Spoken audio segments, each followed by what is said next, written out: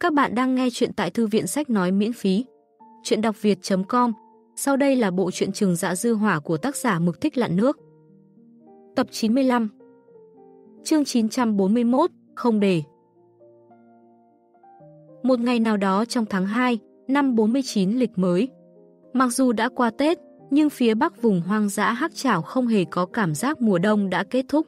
Tuyết trắng ngần bao phủ toàn bộ mặt đất, đưa mắt nhìn ra xa, trên trời dưới đất đều mênh mông mù mịt. Khung cảnh băng tuyết ở đây còn gây chấn động hơn cả ở thành phố cỏ dại.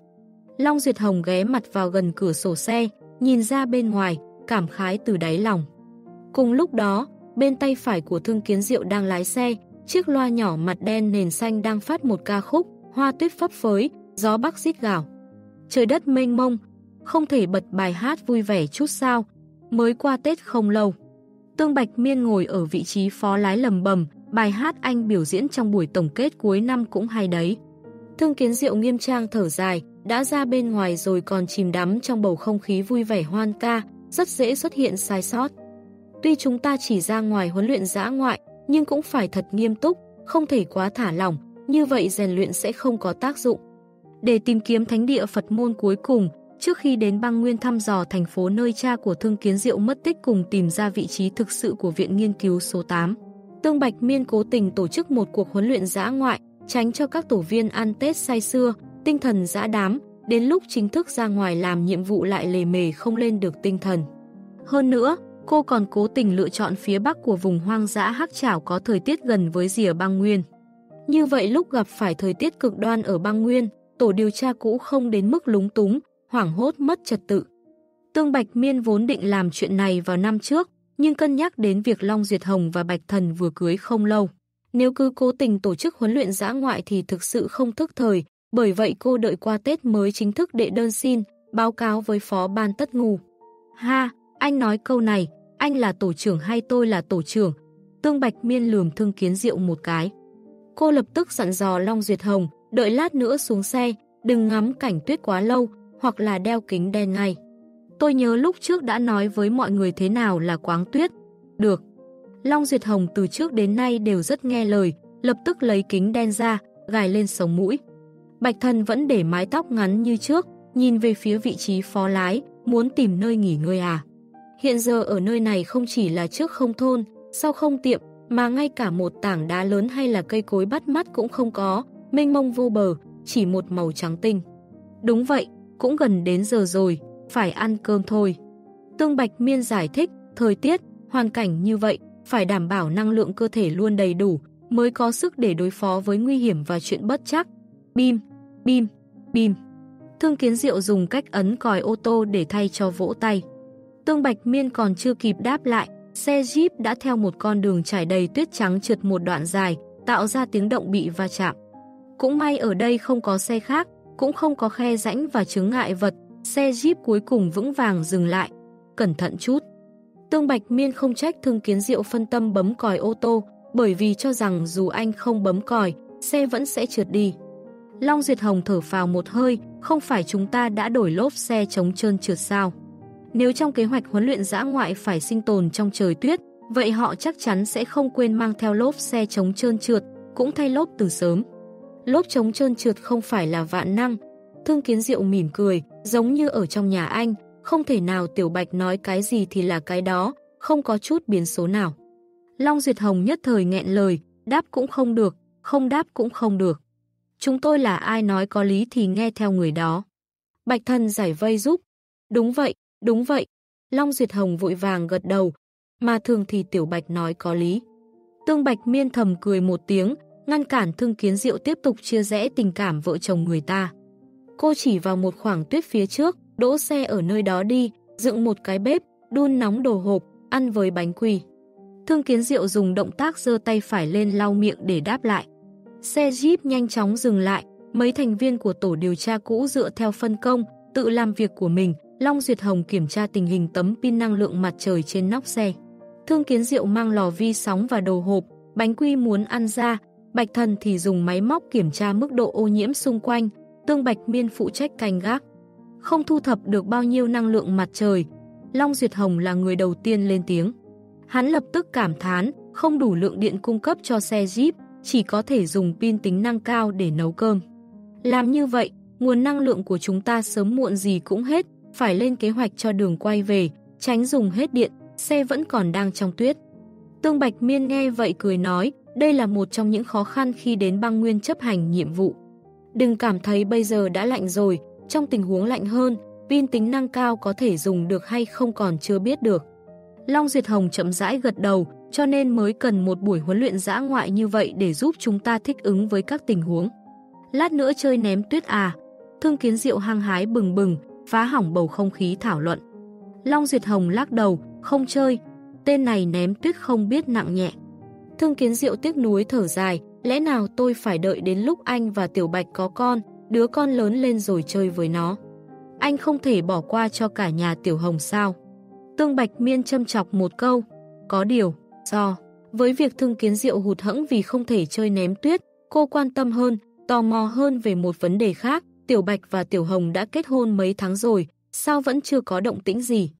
Trong sinh vật bàn cổ, một khi kết hôn thì có nghĩa phải bắt đầu chuẩn bị mang thai, gia đình nào cũng thế, không có ngoại lệ.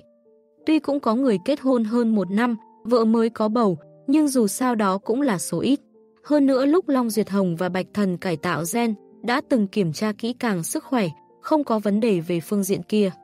Tương Bạch Miên quan tâm thì quan tâm, nhưng cũng biết có một vài việc người khác không đề cập đến, mình cũng tuyệt đối không được hỏi. Quan hệ cho dù tốt đến đâu cũng phải giữ khoảng cách. Cô cô nên ý muốn hỏi, dục thương kiến rượu nấu cơm, nhanh lên. Được rồi, thương kiến rượu chuyển sự chú ý vào lò vi sóng. Long Duyệt Hồng lặng lẽ thở phào nhẹ nhõm trong thời gian này, mẹ hắn cố Hồng đã hai lần đề cập đến chuyện lá bùa đông con nhiều cháu, ý là gì không cần nói cũng biết. Hắn không muốn đi ra ngoài huấn luyện dã ngoại còn phải chịu áp lực dục đẻ con. Không lâu sau, hộp thịt bò kho đã nóng lên, mùi thơm nước mũi bay ra khắp trời tuyết, khiến Long Duyệt Hồng nuốt nước bọt. Ngoại trừ Tương Bạch Miên phụ trách canh gác, ba thành viên khác của tổ điều tra cũ đều tự cầm hộp cơm, ngồi xổm ở đó ăn uống xì sụp. Sau khi cắn một miếng bánh quy chấm nước sốt, Long Duyệt Hồng thỏa mãn híp mắt lại, lúc trước còn cảm thấy ngấy, mấy tháng không ăn, lại phát hiện rất ngon. Thương Kiến Diệu bật cười, ăn răm bữa nửa tháng, anh lại kêu gào cứ nhìn thấy đồ hộp là buồn nôn. Lúc đó chẳng phải anh cũng thế. Long Duyệt Hồng trả lời một cách châm chọc. Thương Kiến Diệu gật đầu, đúng vậy đúng vậy. Một đấm thất bại, Long Duyệt Hồng chỉ có thể đặt sự chú ý vào ăn uống. Đợi Thương Kiến Diệu ăn uống xong, thay cho Tương Bạch Miên trở lại, hắn và Bạch Thần vẫn ở chỗ cũ thưởng thức hộp thịt bò kho.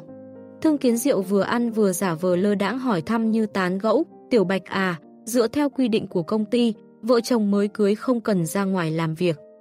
Cô vào Tiểu Hồng sao vẫn không báo cáo lên trên chứ? Người khác không xin, Phó Ban Tất Ngu sẽ không chủ động đưa chỉ thị xuống, cô nhất thời không biết nên sắp xếp cho Long Duyệt Hồng và Bạch Thần như thế nào, chỉ đành mang theo như trước. Bạch Thần mím môi nói, vợ chồng mới cưới không cần ra ngoài làm nhiệm vụ là vì phải yên tâm mang thai, sinh con sớm một chút. Mà tôi và Tiểu Hồng không muốn sinh con sớm như vậy, định hưởng thụ thế giới của hai người thêm mấy năm nữa. Việc này vi phạm chính sách động viên sinh con của công ty, nhưng chúng tôi đã cống hiến nhiều như vậy, hẳn là có thể chậm một vài năm. Thế giới hai người, đây không giống lời mà Tiểu Bạch cô sẽ nói ra. Tương Bạch miên hơi nhíu mày, nghi ngờ Bạch Thần, không muốn ra khỏi đội ngũ nên mới cố ý tìm cớ để nói. Hơn nữa còn bắt trước tình tiết trong tư liệu giải trí của thế giới cũ. Tương Bạch Miên nhìn về phía Long Duyệt Hồng, anh cũng nghĩ vậy. Cô nhớ Tiểu Hồng rất thích trẻ con, đồng thời cũng muốn cùng Tiểu Bạch chuyển sang nội cần. Long Duyệt Hồng gật đầu, đúng vậy, lời Tiểu Bạch chính là những gì tôi nghĩ. Việc này không khoa học, nhưng rất hiện thực. Tương Bạch Miên gượng cười, không giống anh lúc trước nhỉ. Đương nhiên không giống. Người trả lời cô không phải là Long Duyệt Hồng, mà là Thương Kiến Diệu đang canh gác cách đó không xa. Thương Kiến Diệu mỉm cười, bởi vì anh ta và Tiểu Bạch đã bị tôi cấy ghép tư duy tạm thời không sinh con, không thời khỏi tiểu đội. Hả? Long Duyệt Hồng và Bạch Thần đều vô cùng kinh ngạc. Phản ứng đầu tiên của họ là đừng có nói đùa, nhưng nhìn thấy vẻ mặt Thương Kiến Diệu dần nghiêm túc, trong đầu nhất thời uỳnh một tiếng. Họ quả thực bị Thương Kiến Diệu cấy ghép tư duy tương ứng.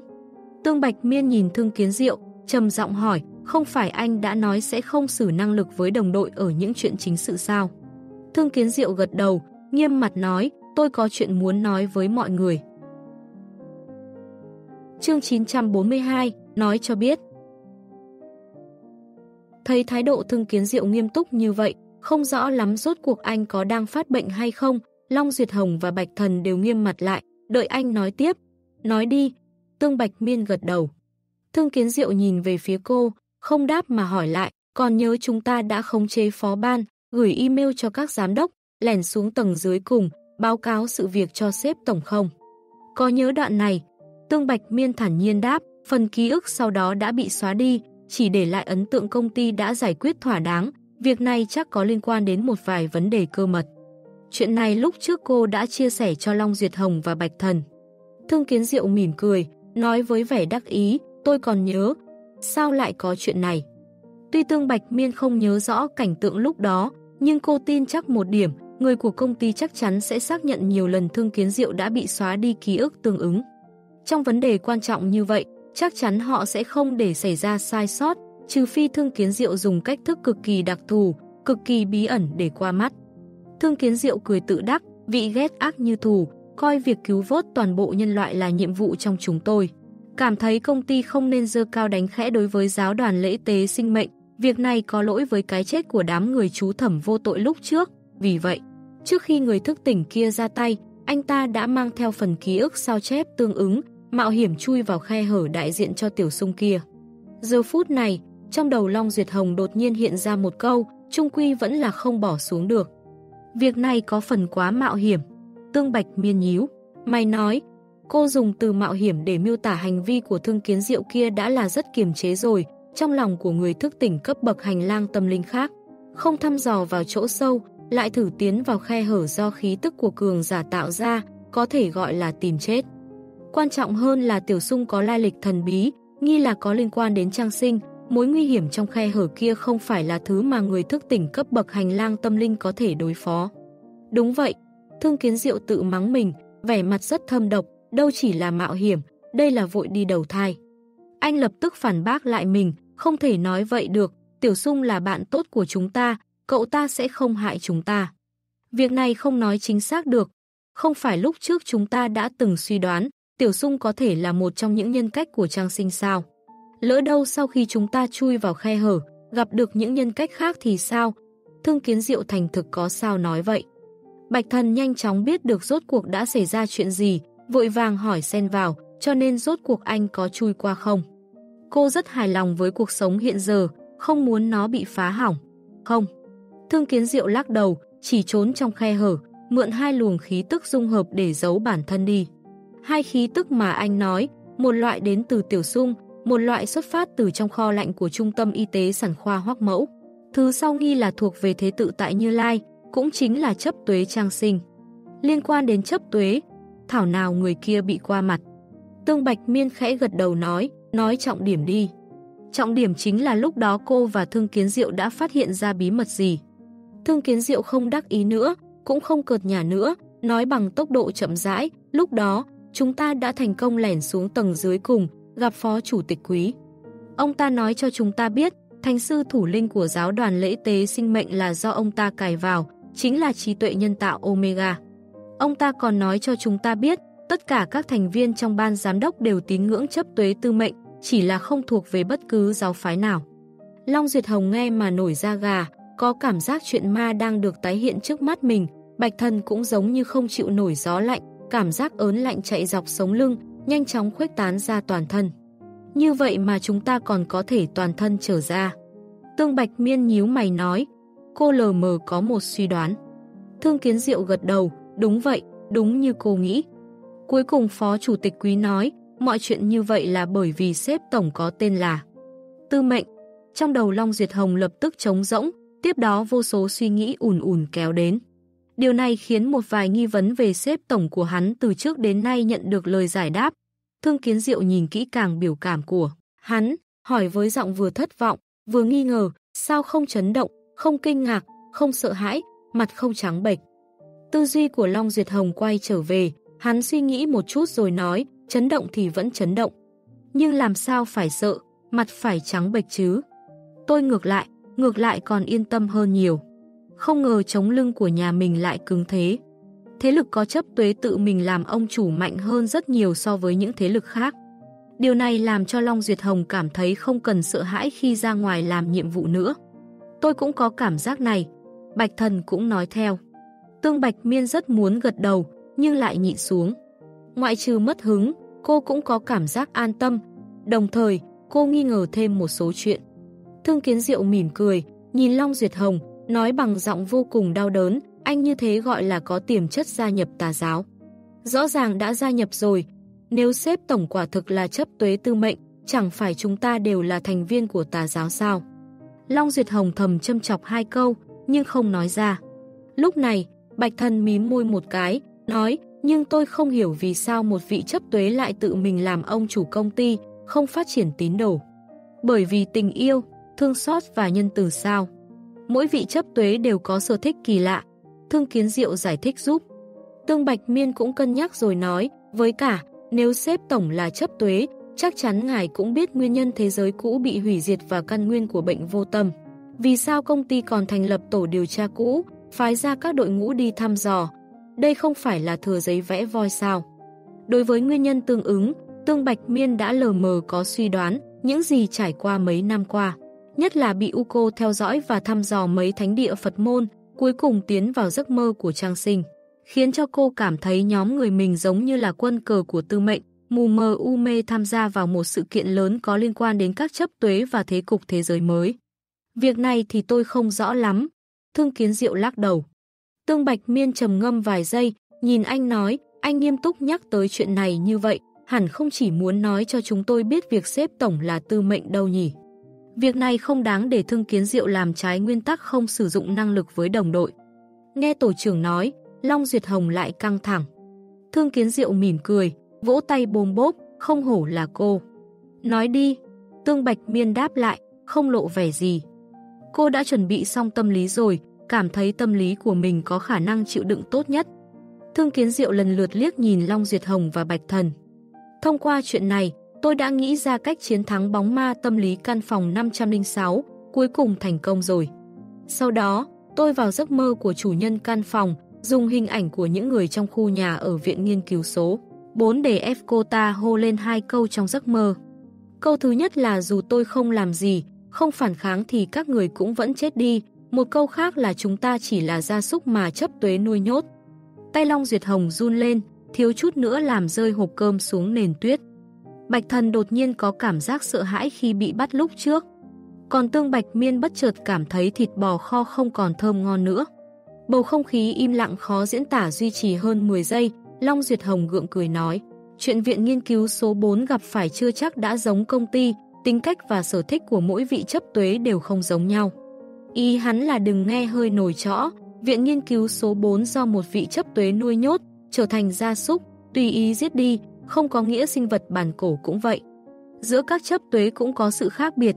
Hơn nữa tôi cũng không có cảm giác bị nuôi nhốt, Bạch Thần phát biểu ý kiến của mình. Gia súc bị nuôi nhốt đến một mức độ nhất định chắc chắn sẽ bị làm thịt, nhưng bên trong sinh vật bàn cổ, ngoại trừ lúc đầu, chưa bao giờ có sự kiện tử vong quy mô lớn. Đúng vậy, Tương Bạch Miên thở hát ra, không thể tin mù quáng được, điều này cần phải tìm chứng cứ và xác nhận thêm. Cô bất chi bất giác dùng tới câu cửa miệng của giáo phái cảnh giác. Tôi cũng nghĩ vậy. Thương Kiến Diệu nở nụ cười vui mừng, nhưng chuyện này không thể nào đi hỏi trực tiếp xếp tổng. Các thành viên của ban giám đốc cũng chưa chắc đã rõ sự thực, hơn nữa điều tra họ dễ đánh rắn động cỏ, chúng ta chỉ có thể tìm cách khác. Ví dụ như làm rõ các chấp tuế đang đánh ván cờ gì, biết rõ nguyên nhân thực sự khiến thế giới cũ bị hủy diệt. Tương Bạch Miên khẽ gật đầu, ví dụ như tìm chủ nhân căn phòng 506 trò chuyện kỹ càng hơn, hỏi xem vì sao người trong khu nhà ở của Viện Nghiên cứu số 4 đều chết hết, chỉ có mình cô ta còn sống. Thương Kiến Diệu nghe vậy, nhất thời thở dài, ôi, sau đó chủ nhân căn phòng 506 không mơ nữa, ít nhất là tôi không thấy nữa. Mà thâm nhập sâu hơn, sẽ tiến vào biển khởi nguồn đối phương, trên người cô ta lại có quá nhiều bí mật, tôi lo lắng sẽ gặp phải ký ức liên quan đến chấp tuế, cho nên tạm thời chưa thử. Mấy thương kiến diệu đã bị khống chế vì điều này. Lại không mơ nữa, Long Duyệt Hồng và Bạch Thần đều tỏ vẻ kinh ngạc, khách sạn U Mộng, Tác Nan. Mấy lái buôn đến từ chợ đá đỏ đi vào đại sảnh, thấy một cô gái xa lạ đang ngồi trước quầy lễ tân. bà chủ đâu? Người cầm đầu nghi hoặc hỏi. Cô gái kia đứng dậy đáp, bà chủ đang ngủ, tôi là nhân viên cô ấy thuê về. Giờ là mấy giờ rồi còn ngủ? Các lái buôn của chợ đá đỏ đều kinh ngạc. Lễ Tân mới nhận chức đằng sau quầy mỉm cười giải thích, mấy tháng nay bà chủ đều ngủ ngày, đêm thức thâu đêm. Các bạn đang nghe chuyện trường dạ dư hỏa của tác giả Mực Thích Lặn, nước tại thư viện sách nói miễn phí, chuyện đọc việt.com Chương 943, Đạo Cụ Trong một ngọn núi phía đông bắc, vùng hoang dã hắc trảo, thủ lĩnh của băng cướp giã hỏa đang vùi mình trong một căn phòng có bếp lò, bọc kín người bằng áo khoác da, vừa sưởi ấm, vừa đảo khoai lang nướng trên bếp than đá. Mẹ cái mùa đông này, hắn rung chân, bày tỏ sự bất mãn đối với thời tiết. Với tài nguyên mà hắn có, thực ra hoàn toàn có thể hưởng thụ đãi ngộ ngồi điều hòa, nhưng hắn cảm thấy với tình hình trên núi, còn không sướng bằng mang một lò than tới. Cao Nguyên bị gió lạnh thổi vào trong phòng làm cho rất có tinh thần, không khỏi nhớ lại những trải nghiệm trong thành phố thế lực lớn những năm trước. Nơi ở của những người tầng lớp trên cùng ấm áp như đầu hạ, chỉ cần mặc một bộ quần áo mỏng. Lúc đó Cao Nguyên từng đi nghe ngóng, bị một loạt danh từ làm cho chóng váng đầu óc, chỉ biết nguồn nhiệt lượng đến từ nước nóng trong nồi đốt lớn. Chúng theo ống treo trên tường, chảy đến những nơi khác nhau, mang đến sự ấm áp như tiên cảnh. Sau khi hắn quay lại nơi bản thân gọi là Đồng Sơn, đã thử cải tạo chỗ ở của mình, đáng tiếc là thất bại. Chỉ có thể dự định sau này đến một thành phố, bắt cóc mấy người biết làm đến đó thi công cho.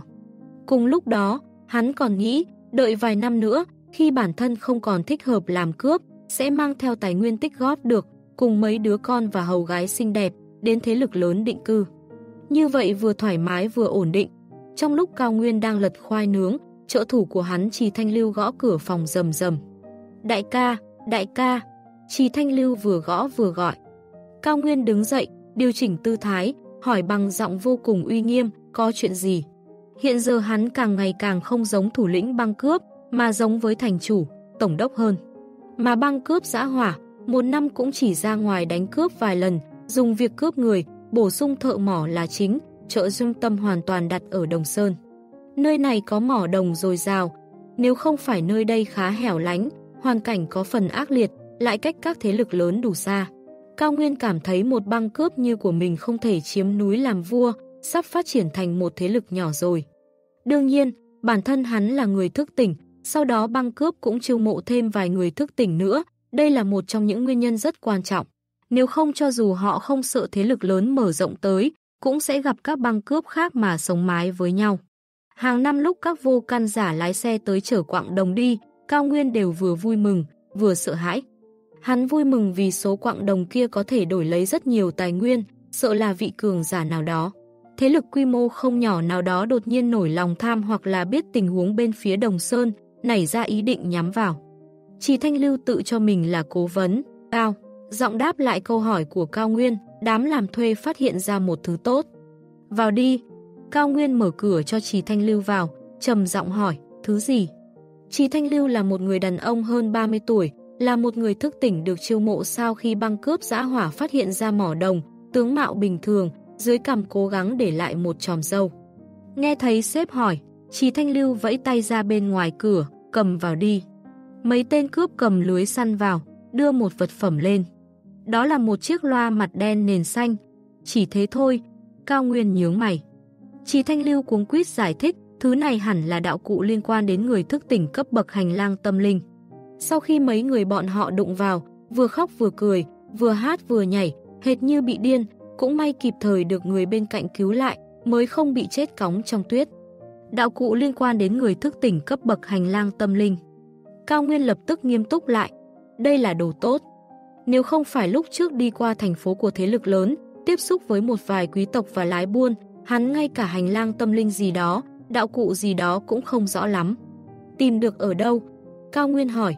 Một tên cướp trong đó cười nói, đại ca, đang là mùa đông, cũng không có chuyện gì làm, trừ ăn cơm, ngủ với gái, cờ bạc, người cũng rảnh rỗi đến phát hoảng.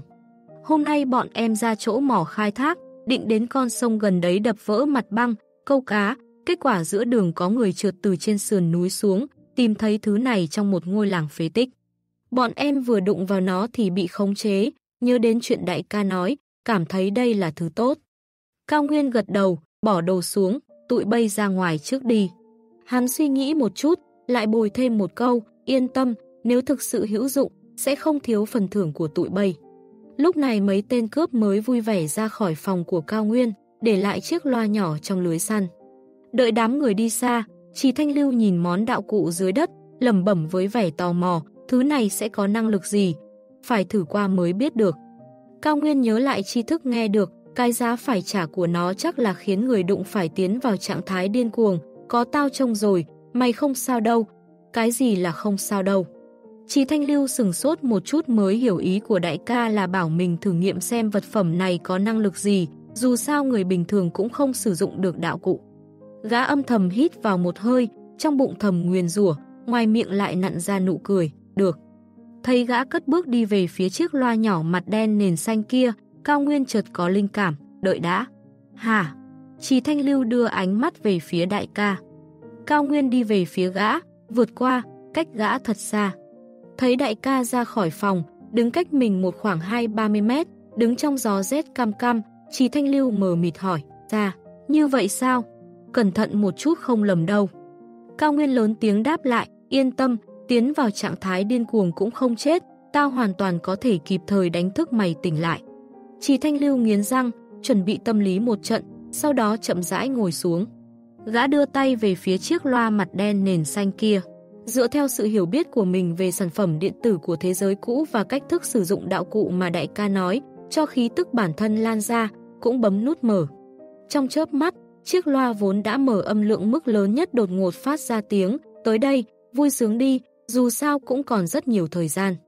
Tới đây, yêu đương đi, dù sao cũng có rất nhiều ham muốn. Tiếng hát vang vọng gần như một nửa khu vực mỏ, mỗi một tên cướp nghe thấy tiếng hát đều bất giác mỉm cười, cả người uốn éo, trở nên vui sướng. Bọn họ đưa mắt nhìn về phía cô gái hoặc đồng bọn của mình, trong mắt tràn đầy tình yêu và dục vọng thiêu đốt. Tới đây, lang thang đi, dù sao cũng có rất nhiều phương hướng. Tới đây, làm dáng đi, dù sao cũng có rất nhiều phong cảnh đẹp. Cao Nguyên đột nhiên kích động, xoay người chạy ra khỏi khu vực mỏ. Hắn muốn đi lang thang, hắn muốn tạo dáng. Rất nhiều tên cướp đều chạy theo đại ca nhà mình, rời khỏi khu vực mỏ, định lang thang đến phương xa. Nơi này nhất thời trở nên trống không, chỉ còn lại một mình Trì Thanh Lưu đang nhảy theo điệu nhạc ở đó. Bằng, một tiếng súng vang lên Trì Thanh Lưu ngã xuống. Bạch Thần mặc thiết bị khung xương quân dụng thu lại súng trường quả quýt, theo Tương Bạch Miên, Thương Kiến Diệu và Long Duyệt Hồng vào khu vực mỏ Đồng Sơn. Bốn người đều đeo nút tai để che đi tiếng hát. Đợi tắt loa, thu dọn hiện trường xong, Tương Bạch Miên tháo nút tai xuống, nhìn về phía Thương Kiến Diệu, nói vì sao lại phải làm phiền toái như vậy, thiết kế nhiều công đoạn như vậy. Với thực lực của chúng ta, hoàn toàn có thể quang minh chính đại đi đến trước cửa thăm hỏi. Thương Kiến Diệu mỉm cười, chỉ vào loa nói là một thành viên của tiểu đội chúng ta, lần này đến lượt nó lập công. Sau khi anh thăm dò sâu trong hành lang tâm linh, bèn dùng khí tức bản thân cải tạo chiếc loa nhỏ thân yêu, khiến nó trở thành một đạo cụ. Tương Bạch Miên hết lời chống đỡ. Long Duyệt Hồng nhìn quanh một vòng, lại hỏi tổ trưởng vì sao chúng ta cần phải đối phó với băng cướp giã hỏa. Để cứu vớt thợ mỏ nơi này, Thương Kiến Diệu dành trả lời trước. Tương Bạch Miên thở hát ra nói, tôi lấy chút đồ tiếp tế. Đồ tiếp tế của chúng ta đủ quay về công ty, chỉ là phải tính toán cẩn thận việc sử dụng lượng pin tính năng cao. Bạch Thần đáp một câu, Tương Bạch Miên mỉm cười, không đủ không đủ, chúng ta tiếp theo còn chưa vội quay về công ty. Hà phản ứng đầu tiên của Long Duyệt Hồng và tổ trưởng muốn chạy trốn. Nhưng chuyện Thương Kiến Diệu nói chuyện không bằng chứng, hắn tin Tương Bạch Miên sẽ không kích động như vậy. Tương Bạch Miên chỉ vào phía nam nói, tôi định trước khi quay về công ty đến di tích đầm lầy số 1 xem sao. Xác nhận nơi đó rốt cuộc có phải là thành phố Đại Giang hay không, có phải là chỗ thánh địa Phật môn cuối cùng hay không. Trong tài liệu mà đám người Vương Bắc Thành thu thập được lúc trước không chỉ chính xác phế tích kia có tên là gì ở thế giới cũ, chúng ta chỉ có thể tự mình đi tìm. Hơn nữa, cô nghi ngờ công ty có thể sẽ che giấu thông tin ở phương diện này, cho nên sau khi nghe Thương Kiến Diệu nói những chuyện kia, cô đã nhanh chóng quyết định định nhân cuộc huấn luyện giã ngoại lần này đến di tích đầm lầy số 1 thăm dò. Nhưng lần này chúng ta không mang nhiều trang bị, Long Duyệt Hồng do dự nói. Bởi vì chỉ là huấn luyện giã ngoại, trọng tâm không đặt ở sinh tồn, cho nên lần này tổ điều tra cũ chỉ xin mang theo một bộ thiết bị khung xương quân dụng, một bộ áo giáp thông minh sinh học thiết xà hắc chảo, mà Long Duyệt Hồng không thể không thừa nhận mình mắc chứng sợ hãi không đủ trang bị. Tương Bạch Miên cười nói, được rồi, hai người mỗi người một bộ, tôi và này tạm thời không cần. Ừm, Bạch Thân gật đầu. Lúc này, Thương Kiến Diệu tỏ ra say mê, có lẽ Tiểu Sung đã trốn về nơi đó rồi. Chương 944, trở lại. Có lẽ Tiểu Sung lại trốn về nơi đó. Long Duyệt Hồng kinh hãi, không cảm thấy đây là chuyện tốt gì. Tuy hắn cũng từng chơi với Tiểu Sung, dọn dẹp phòng, nấu cơm cho cậu ta, cảm thấy vị này thực ra cũng rất dễ ở chung, bỏ qua thực lực mạnh mẽ và lai lịch thần bí. Thì chỉ là một đứa trẻ bình thường đắm chìm vào game, thiếu tình yêu, lại không có cảm giác an toàn, nhưng bây giờ không giống lúc trước. Tổ điều tra cũ từng đi vào giấc mơ của Trang Sinh, nghi ngờ Tiểu Sung có quan hệ nhất định với vị chấp tuế này, là một trong những nhân cách mà ngày phân chia ra. Cho lần, nếu tổ điều tra cũ một lần nữa thực sự đụng phải Tiểu Sung, chưa chắc người đó đã là Tiểu Sung, hoặc nên nói chưa chắc chỉ là Tiểu Sung. Việc này có sự mạo hiểm và bất chắc rất lớn. Dường như nhận ra suy nghĩ trong lòng Long Duyệt Hồng, Thương Kiến Diệu vội vàng mỉm cười, tiếp tục nói, trường cấp 2 anh tài thành phố Đại Giang, chưa biết chừng ở ngay trong di tích đầm lầy số 1. Về phần làng Lâm Hà thành phố Đại Giang, chắc chắn là không thuộc thành phố. Nhớ đến chuyện lão Nawa miêu tả về trường cấp 2 anh tài thành phố Đại Giang, Long Duyệt Hồng không khỏi sợ run người. Lúc này, Bạch Thân nhìn về phía tương Bạch Miên, lên tiếng nói, nhưng bây giờ những người ra vào di tích đầm lầy số 1 về cơ bản đều bị công ty khống chế, hoặc là bị công ty theo dõi. Nếu chúng ta muốn qua mặt công ty, lẻn vào phế tích, tìm kiếm tư liệu văn tự tương ứng, sợ rằng có chút khó. Quan trọng hơn là, hiện giờ tổ điều tra cũ vẫn chưa có ý định cũng như chuẩn bị xung đột chính diện với công ty. Đúng vậy, đúng, vậy. Long Duyệt Hồng gật đầu phụ họa. Thương Kiến Diệu nở nụ cười, phế tích thành phố lớn như vậy, nhân thủ của công ty lại có hạn, đâu thể trông coi từng chỗ một được. Mấy năm nay, không phải vẫn có thợ săn di tích ra vào phế tích sao? Cùng lắm thì chúng ta bỏ xe lại trước, đi bộ từ đường nhỏ vào trong, hoặc là bật một bài hát du cho đám người Vương Bắc Thành nghe. Vì sao anh khẳng định người hiện đang trực ban bên đó là đại đội của Vương Bắc Thành? Tương Bạch Miên nhất thời bật cười thành tiếng. Ý cô là vì sao lại muốn nhắm vào Vương Bắc Thành? Không đợi Thương Kiến Diệu đáp lại, Tương Bạch Miên nhìn quanh một vòng nói, thực ra có một lối vào mà công ty không canh gác. Chỗ nào? Long Duyệt Hồng vừa thốt lên đã chợt có linh cảm, nghĩ ra đáp án. Tương Bạch Miên khẽ mỉm cười nói, lối vào mà lần trước Kiều Sơ đưa chúng ta đi, cô không báo cáo. Thương Kiến Diệu tỏ vẻ vô cùng kinh ngạc, có điều Tương Bạch Miên nhìn thế nào cũng thấy đó là biểu hiện của sự mừng rỡ. Tương Bạch Miên bật cười ha hả, lúc SCTA rời khỏi di tích đầm lầy số 1, không phải ngại con đường kia quá ngoằn ngoèo. Quá nguy hiểm, không có Kiều Sơ dẫn đường rất dễ rơi vào trong đầm lây, nên đổi sang con đường đám người An Như Hương tiến vào sao. Đúng vậy, Bạch Thần gật đầu, cô nhớ trên đường về còn đụng phải đại đội của Vương Bắc Thành. Tương Bạch Miên cười nói, sau đó lúc viết báo cáo, tôi ngại phiền phức, không miêu tả cụ thể Kiều Sơ đưa chúng ta đi là con đường nào. Có lẽ công ty cũng ngầm cho rằng chúng ta ra ngoài bằng con đường lúc trước, mà đám người Vương Bắc Thành cũng chứng thực chuyện này. Di tích đầm lầy số 1 có diện tích rất lớn, lại còn nguy hiểm, sinh vật bàn cổ vẫn luôn làm đâu ổn đấy. Xúc tiến từng chút một, chậm rãi thăm dò, hiện nay ít nhất còn 2 phần 3 khu vực chưa dò xét. Nói cách khác, xác suất họ phát hiện ra lối vào bí mật kia tương đối thấp. Long Duyệt Hồng như ngộ ra, nhưng lại lo lắng nói, tổ trưởng, tôi nhớ con đường kia ẩn náu sâu trong ao đầm, không những bí mật, quanh co, dễ làm người ta lạc đường, hơn nữa còn vô cùng nguy hiểm. Những sinh vật biến dị kia còn đỡ, hiện nay tổ điều tra cũ có đủ năng lực đối phó, phiền toái nhất là bản thân ao đầm, là một đầm bùn lầy có thể nuốt chửng tất cả sinh mạng. Tương Bạch Miên cười trấn an, anh quên bây giờ đang là mùa gì à? Vừa qua Tết, chỗ sâu trong vùng hoang dã Hắc Chảo và khu vực gần phía Bắc, nhiệt độ vẫn còn rất thấp, hồ nước, sông đều đóng băng, có thể tạo thành đường cho xe qua lại. Hồ và sông còn vậy, đầm lầy đương nhiên không cần phải nói. Trong thời tiết giá rét, nó chẳng khác nào một con đường bằng phẳng. Cũng phải, Long Duyệt Hồng thở phào một cái. Chỉ cần có thể tiến vào di tích đầm lầy số 1 một cách tương đối an toàn, không đối mặt với nhân viên của Ban An toàn sinh vật bàn cổ.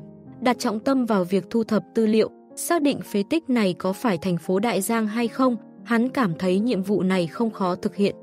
Tương Bạch Miên lại hỏi Thương Kiến Diệu, anh định xử lý khu vực mỏ này như thế nào?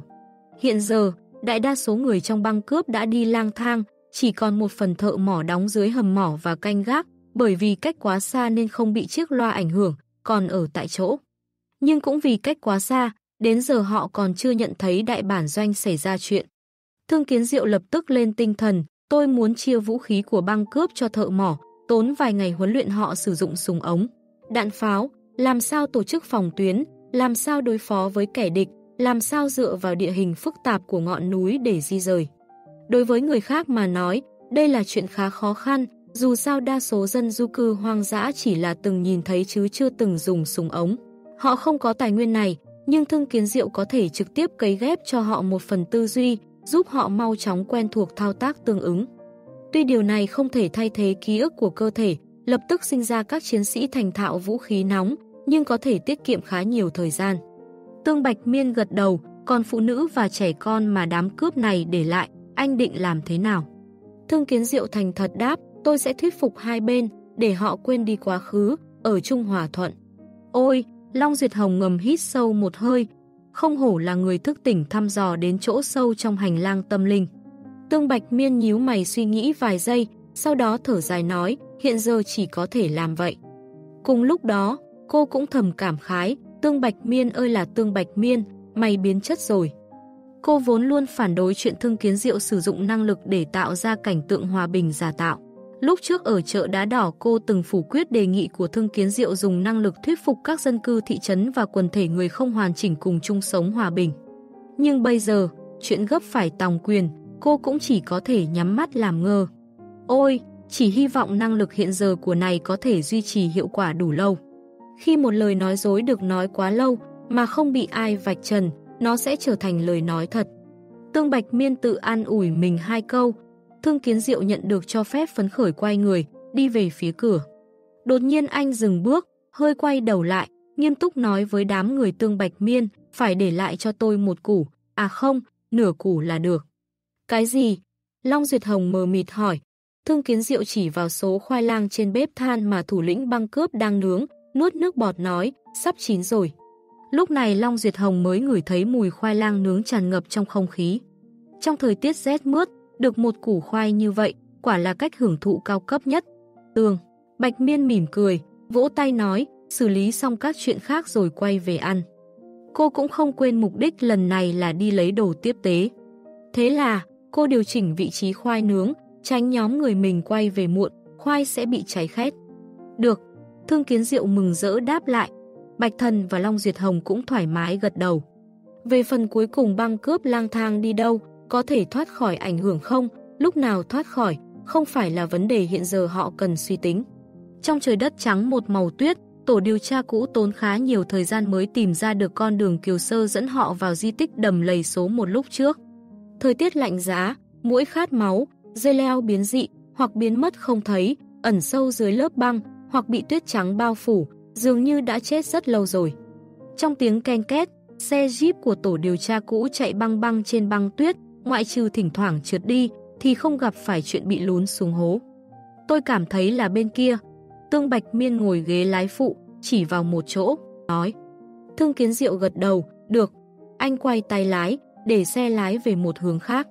Không đúng. Tương Bạch Miên vội vàng sửa lại, tôi nói là bên kia. Không sai. Thương Kiến Diệu cười nói, trong việc chỉ đường, cứ làm ngược lại lời cô nói, hiệu quả chắc chắn không tệ. Thì ra là loại trừ đáp án sai đúng không? Tương Bạch miên tức quá hóa cười. Cô đã quen bị đả kích về phương diện này, thậm chí bắt đầu dùng việc này để tự diễu. Cũng gần như thế, Thương Kiến Diệu liếc nhìn kính chiếu hậu, Tiểu Hồng, anh cũng chỉ một hướng đi. Tôi cũng đâu bị mù đường. Long Duyệt Hồng cảm thấy trột dạ, không để ý tới tên này nữa. Hắn quả thực biết đường, nhưng vận may của hắn luôn không được tốt lắm. Dưới thao tác của Thương Kiến Diệu, Trước khi trời sắp tối, tổ điều tra cũ rốt cuộc đã tiến vào con đường hầm dẫn đến di tích đầm lầy số 1. Tương Bạch Miên cũng không biết đây được coi là đến trước hay là bị trì hoãn. Chẳng mấy chốc, xe Jeep ra khỏi đường hầm, họ lại một lần nữa nhìn thấy thành phố đang ngủ say, nhìn thấy từng tòa nhà cao tầng tĩnh mịch. Long Duyệt Hồng liếc nhìn cảnh tượng này, cảm khái từ tận đáy lòng, chúng ta lại quay về. Có lẽ đây chính là số phận. Tương Bạch Miên và Bạch Thần cũng có cảm giác tương tự. Thương Kiến Diệu gật đầu theo, nói bằng giọng giận dữ, Kiều Sơ còn nợ chúng ta một thiết bị khung xương quân dụng đấy. Các bạn đang nghe chuyện trường dạ dư hỏa của tác giả Mực Thích Lặn Nước tại Thư viện Sách Nói miễn phí, chuyện đọc việt.com Chương 945, Trốn cũ trong ánh chiều tà soi dọi, xe Jeep của tổ điều tra cũ chạy tới đường phố quen thuộc, chậm rãi đi ngang qua giữa những biển hiệu treo lệch hoặc thiếu chữ cắt tóc, siêu thị, đồ nướng, nhà tắm, lẩu, cửa hàng tiện lợi, M2. Xe cộ đỗ tùy tiện trên đường, mang theo vết tích dầm mưa dãi nắng, gây cản trở giao thông nghiêm trọng, nhưng không đến. Mức thực sự khiến xe Jeep không thể đi tiếp, vẫn như trước. Thương kiến diệu đổi sang ngồi hàng ghế sau, dùng giọng điệu thổn thức để cảm thán một câu. Không biết tại sao, trong đầu Long Duyệt Hồng đột nhiên hiện lên một câu nói trong tư liệu giải trí của thế giới cũ, anh ta đốt một điếu thuốc, bắt đầu kể lại chuyện cũ. Bạch thần lái xe, nhìn phía trước, nói, trời sắp tối rồi, đêm nay hạ trại ở chỗ nào? Đương nhiên là chỗ lần trước. Thương Kiến Diệu dành trả lời trước Tương Bạch Miên, có tình cảm. Chiếc loa nhỏ của anh chính là đến từ chỗ đó. Ai lại có tình cảm với nơi quỷ quái này? Tương Bạch Miên thầm lầm bầm một câu, gật đầu nói, vẫn chỗ cũ đi, ít nhất còn quen thuộc. Bạch Thần ừng một tiếng, cho xe Jeep rẽ về bên trái, đi vào khu nhà tên là Dương Uyển gì đó kia. Họ xuống xe, mang theo vật phẩm, rẽ vào một dãy nhà ở phía bên phải, thành thạo đi lên tầng 6. Sau khi mở cánh cửa ở căn phòng sâu nhất kia, thứ mùi mốc meo phả vào mũi họ. Bố cục vẫn giống trước lúc chúng ta rời đi. Thương kiến diệu nhìn quanh một vòng, giống như không ngửi thấy gì. Bàn trà, kệ tivi, ghế sofa bẩn thỉu, ly nước màu xanh lục, bàn tròn, ghế bành.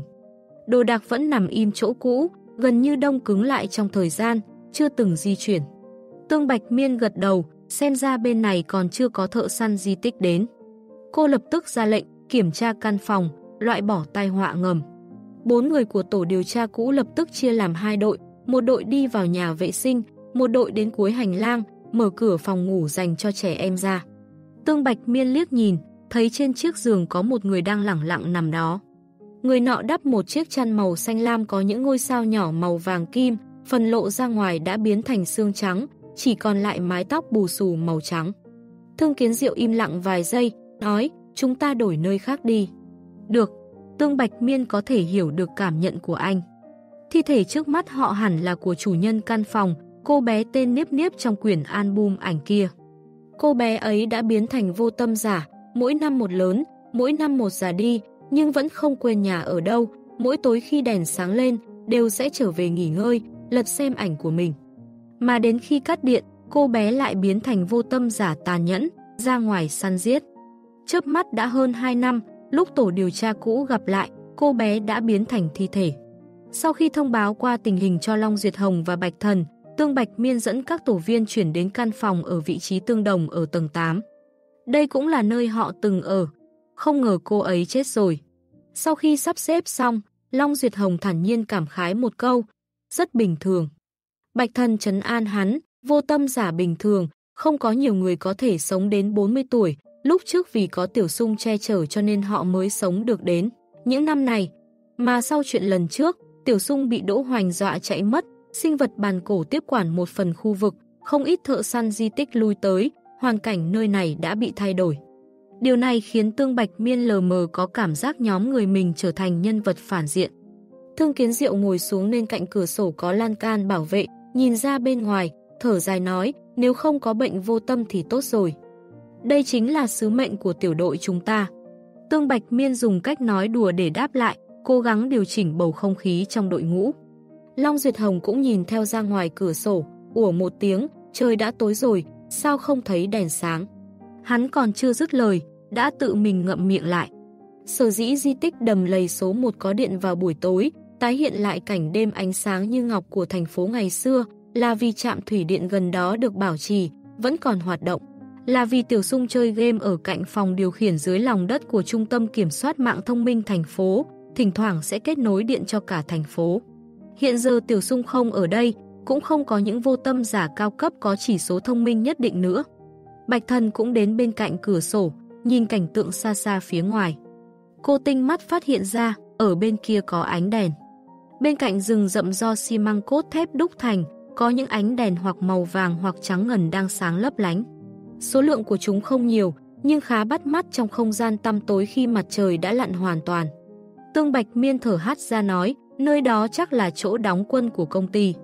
Chắc chắn họ thông qua trung tâm kiểm soát mạng thông minh thành phố để phế tích này luôn có điện. Cũng phải, có điện và không có điện là hai khái niệm hoàn toàn khác nhau, đối với sinh hoạt hàng ngày hay đối với đội ngũ đóng quân mà nói, đều là như thế. Long Duyệt Hồng như hiểu ra. Lúc này, Thương Kiến Diệu phấn khởi đứng dậy, xông tới khu vực nhà hàng, cạch một tiếng ấn chốt mở. Ngọn đèn trắng cũng theo đó sáng lên. Quả nhiên có điện, Thương Kiến Diệu khá vui vẻ. Tương Bạch Miên đảo mắt một cái, tắt đi, trong đêm trói mắt lắm. Đợi Thương Kiến Diệu tắt đèn, Tương Bạch Miên nhìn quanh một vòng, nói đêm nay sắp xếp như sau, ăn cơm trước, sau đó nghỉ ngơi một tiếng đồng hồ. Tiếp đó đến quảng trường gần đây tìm kiếm các hiệu sách, xác định xem nơi này có phải là thành phố Đại Giang không. Đêm nay sẽ đi thu thập tư liệu có chữ. Long Duyệt Hồng kinh ngạc thốt lên, muốn thất cổ cũng phải lấy hơi đã chứ.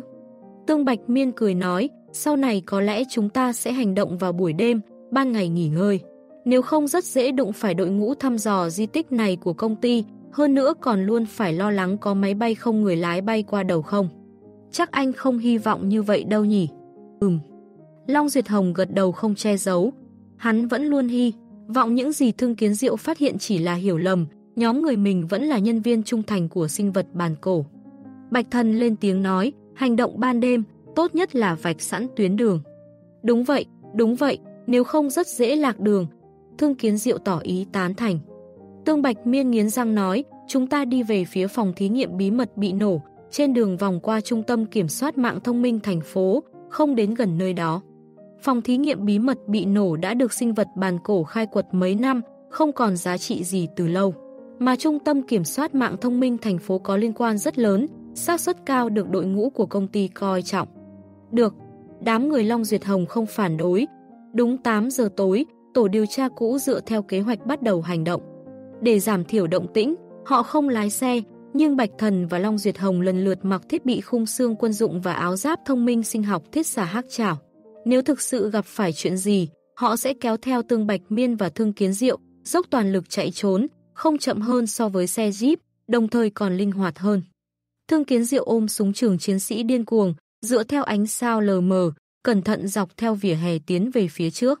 Tương Bạch Miên nhất thời không biết nên khen anh không chủ quan sao nhãng, cũng rất cẩn thận, luôn làm việc theo sổ tay chiến thuật, hay nên chế giễu anh làm điều thừa, thích diễn kịch nữa. Với năng lực cảm ứng và trình độ trinh sát hiện nay của tổ điều tra cũ, thật sự không cần phải hành quân như vậy. Vòng qua trung tâm kiểm soát mạng thông minh thành phố, tổ điều tra cũ đi ra sau nó, men theo một con đường dẫn tới phòng thí nghiệm bí mật. Đúng lúc này, Thương Kiến Diệu nghiêng người, hô lên về một phía, dừng lại. Lúc giọng nói của anh vang vọng, một bóng người nhảy ra từ cửa sổ bên cạnh đường. Đây là một vô tâm giả nam, tóc tai bù xù, mắt đục ngầu, cả người còng xuống, tuổi chừng 30. Hắn vốn định tấn công tổ điều tra cũ, hoàn thành việc săn giết, lúc này lại đứng yên ở đó, không nhúc nhích. Thương Kiến Diệu đi tới, khách sao lên tiếng hỏi, anh có biết đây là thành phố nào không? Vô tâm giả phát ra âm thanh gầm khẽ, đôi mắt đầy tơ máu vừa rất cảnh giác, vừa cam hận. Thương Kiến Diệu không hề tức giận, anh nói đây là thành phố Đại Giang. Vô tâm giả mấp máy miệng, trong cổ họng phát ra âm thanh quái dị, tối nghĩa, đây là thành phố Đại Giang. Quả nhiên là thành phố Đại Giang, Thương Kiến Diệu vỗ vào bên cạnh súng trường chiến sĩ điên cuồng. Đây là một cách vu hoan giá họa khác, Long Duyệt Hồng thầm nói. Thương Kiến Diệu lập tức phất tay, nói với vô tâm giả kia, anh có thể đi rồi. Thế là vô tâm giả kia ngoan ngoãn bước đi. Giây tiếp theo, Thương Kiến Diệu nhìn về phía Tương Bạch Miên, hỏi với vẻ tò mò, cô lại không nói gì tôi. Tương Bạch Miên trợn mắt, hành động vừa rồi của anh làm tôi. Nghĩ tới một việc. Chuyện gì? Thương Kiến Diệu gặng hỏi. Tương Bạch Miên ừm một tiếng, mọi người còn nhớ lúc trước chúng ta từng gặp chuyện kỳ dị ở đây không? Sau khi đèn sáng, tất cả vô tâm giả dường như đều biến trở lại thành người bình thường, làm việc của mình, không tập kích nhân loại nữa. Nhớ, Bạch Thần và Long Duyệt Hồng đều gật đầu. Họ có ấn tượng rất sâu sắc về việc này. Tương Bạch Miên thở hát ra nói, lúc đó tôi cảm thấy rất khó hiểu, nhưng bây giờ suy nghĩ một chút, cảm thấy đây có thể là hiệu quả do cấy ghép tư duy mang tới, mà xác suất cao là do Tiểu Sung làm. Tiểu Sung đã cấy ghép cho mỗi một vô tâm giả trong phế tích thành phố này một đoạn tư duy khác nhau, khiến cho họ sẽ làm việc dựa theo tư duy tương ứng sau khi đèn sáng. Long Duyệt Hồng càng nghĩ càng cảm thấy suy đoán của tổ trưởng gần với hiện thực. Thương kiến diệu vỗ vào bên cạnh súng trường chiến sĩ điên cuồng, Tiểu Sung quả nhiên thuộc lĩnh vực trang sinh. Việc này có gì đáng để mừng chứ? Nó rất khủng khiếp đấy. Long Duyệt Hồng vừa oán thầm vừa đề phòng bốn phía. Lúc ánh mắt hắn vừa di chuyển, đột nhiên nhìn thấy chữ trên một tấm biển bên đường được ánh sao thoát khỏi mây đen chiếu sáng, thành phố Đại Giang.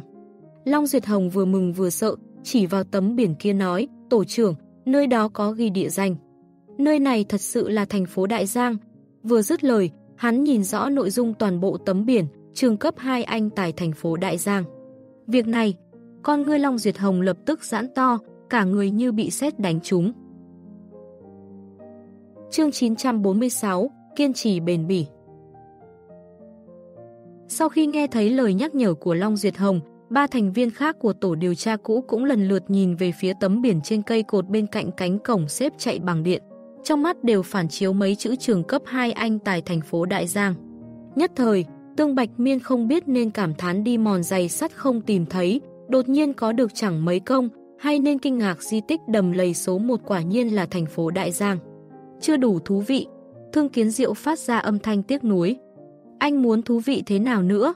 Tương Bạch Miên lườm anh. Thương Kiến Diệu chỉ vào tấm biển dựng thẳng kia, nói nếu như bên cạnh trường cấp 2 anh tại thành phố Đại Giang còn có một dòng chữ nhỏ, viết là phòng làm việc hắc chảo, vậy thì càng có hiệu quả phim ảnh, có bước ngoặt, cũng rất thú vị. Long Duyệt Hồng bất giác tưởng tượng ra cảnh tượng thương kiến diệu miêu tả, không khỏi thầm mắng một tiếng. Chuyện này khiến người ta kinh hãi, kết quả chỉ là quả pháo xịt. Tương Bạch miên xí một tiếng, rất đáng tiếc, chúng ta là phim tả thực theo hướng nghiêm túc, không phải là phim hài nhảm. Thương Kiến Diệu đã chuyển trọng tâm chú ý, chỉ vào trường cấp 2 anh tài thành phố Đại Giang nói, muốn vào thăm dò không? Tạm thời chưa cần. Tương Bạch Miên trần trừ đáp, nó liên quan đến trang sinh, ai biết được chúng ta đi vào. Có rơi vào giấc mơ giống trường cao đẳng số 1 thành phố Đài hay không? Đến lúc đó, không có người máy thông minh Nawa làm đường lùi, tổ điều tra cũ rất có khả năng sẽ bị tiêu diệt cả đội. Sẽ không đâu. Thương Kiến Diệu dùng giọng rất chắc chắn, lắc đầu nói. Bạch Thần cầm súng trường quả quýt, quan sát bốn phía, cố gắng suy đoán nguyên nhân Thương Kiến Diệu trả lời như vậy, anh cảm thấy Tiểu Sung sẽ không hại chúng ta. Sau khi chứng thực nơi này là thành phố Đại Giang, khả năng Tiểu Sung và Trang Sinh liên quan đến nhau lại cao thêm chút, cho nên Bạch Thần thử thăm dò. Không phải. Thương Kiến Diệu lại lắc đầu, bởi vì giấc mơ của Trang Sinh bây giờ không liên quan gì đến trường học. Làm sao anh biết? Long Duyệt Hồng thốt lên. Trên mặt Thương Kiến Diệu viết chữ đây không phải là chuyện rất bình thường sao, mỗi ngày tôi đều mở cửa phòng 102 xem có gì thay đổi không. 102 là căn phòng đại diện cho Trang Sinh trong hành lang tâm linh. Thời giác trước, Trang Sinh lại bắt đầu nằm mơ, mơ thấy một đại dương, một con chim khổng lồ che kín bầu trời. Thương Kiến Diệu tiếp tục nói, tình huống cụ thể trong giấc mơ tôi không rõ lắm, bởi vì tôi chỉ đứng ở cửa nhìn, nhưng cũng có thể khẳng định nó không liên quan gì đến trường học. Cũng sẽ không khiến trường cấp 2 anh tại thành phố Đại Giang xảy ra bất thường. Tương Bạch Miên khẽ gật đầu nói, mỗi ngày anh đều đến kiểm tra tình hình căn phòng 102. Dù sao cũng rảnh rỗi, Thương Kiến Diệu không cảm thấy việc này có gì đáng để ngạc nhiên. Thật sự có nghị lực. Tương Bạch Miên đánh giá một câu trong lòng. Đổi là người bình thường, chắc chắn cứ cách một khoảng thời gian mới mở cửa căn phòng 102 một lần, quan sát tình huống bên trong, dù sao nếu thật sự có sự thay đổi nào đó.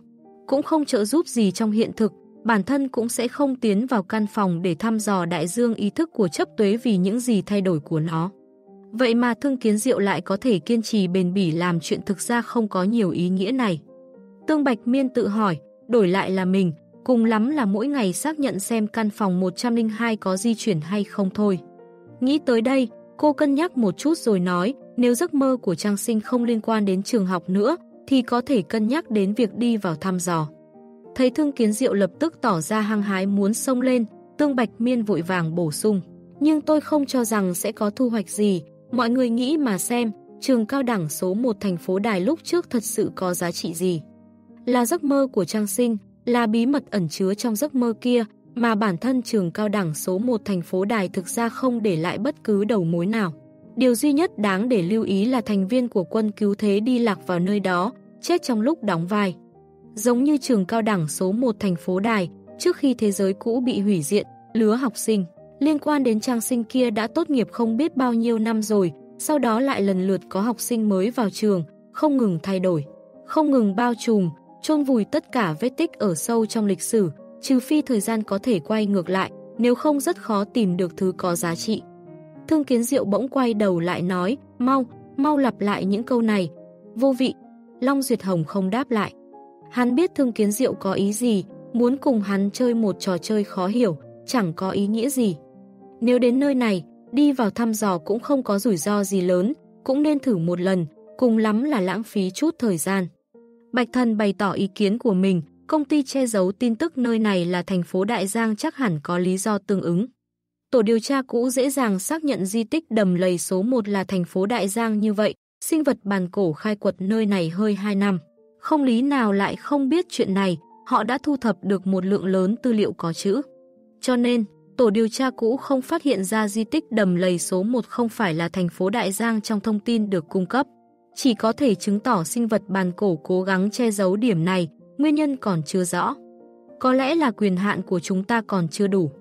Long Duyệt Hồng nhỏ giọng biện bạch cho công ty một câu. Lúc này Bạch Thần lại nói, quyền hạn được biết thông tin di tích đầm lầy số 1 là thành phố Đại Giang cao như vậy, bản thân nó đã chứng tỏ rất nhiều vấn đề. Đúng vậy, đúng vậy. Long Duyệt Hồng lựa chọn tán thành. Lúc này, Thương Kiến Diệu chẹp một tiếng, vì sao hiện giờ mọi người khẳng định nơi này là thành phố Đại Giang? Không phải chỗ đó viết vậy sao? Long Duyệt Hồng chỉ vào tấm biển trường học kia, nói. Thương Kiến Diệu cười nói, nếu là tôi, tôi sẽ cố tình làm một tấm biển trường cấp 2 anh tài thành phố Đại Giang, tùy tiện đóng bên ngoài một trường học để lừa gạt những người đến đây thăm dò. Cho nên, đầu óc anh có vấn đề, chúng tôi rất bình thường. Đây không phải là chuyện đổi một tấm biển là có thể dọa được người ta, có bản lĩnh thì đổi toàn bộ tư liệu có văn tự của thành phố này thành thành phố Đại Giang đi. Cho dù là loại người máy thông minh như lão Nawa, không cho thời gian đến 20 năm cũng không làm được. Tương Bạch Miên thầm lẩm bẩm hai câu, thở hát ra nói, lúc khác chúng ta sẽ tiếp tục thu thập tư liệu, hoàn thành việc xác nhận. Không đợi Thương Kiến Diệu đáp lại, cô chỉ vào trường cấp 2 Anh tại thành phố Đại Giang, vào đó thăm dò chút đi. Có kinh nghiệm ở trường cao đẳng số 1 thành phố Đài, bốn thành viên của tổ điều tra cũ không đồng thời tiến vào, mà chia làm hai đội, để Tương Bạch Miên và Thương Kiến Diệu đi trước.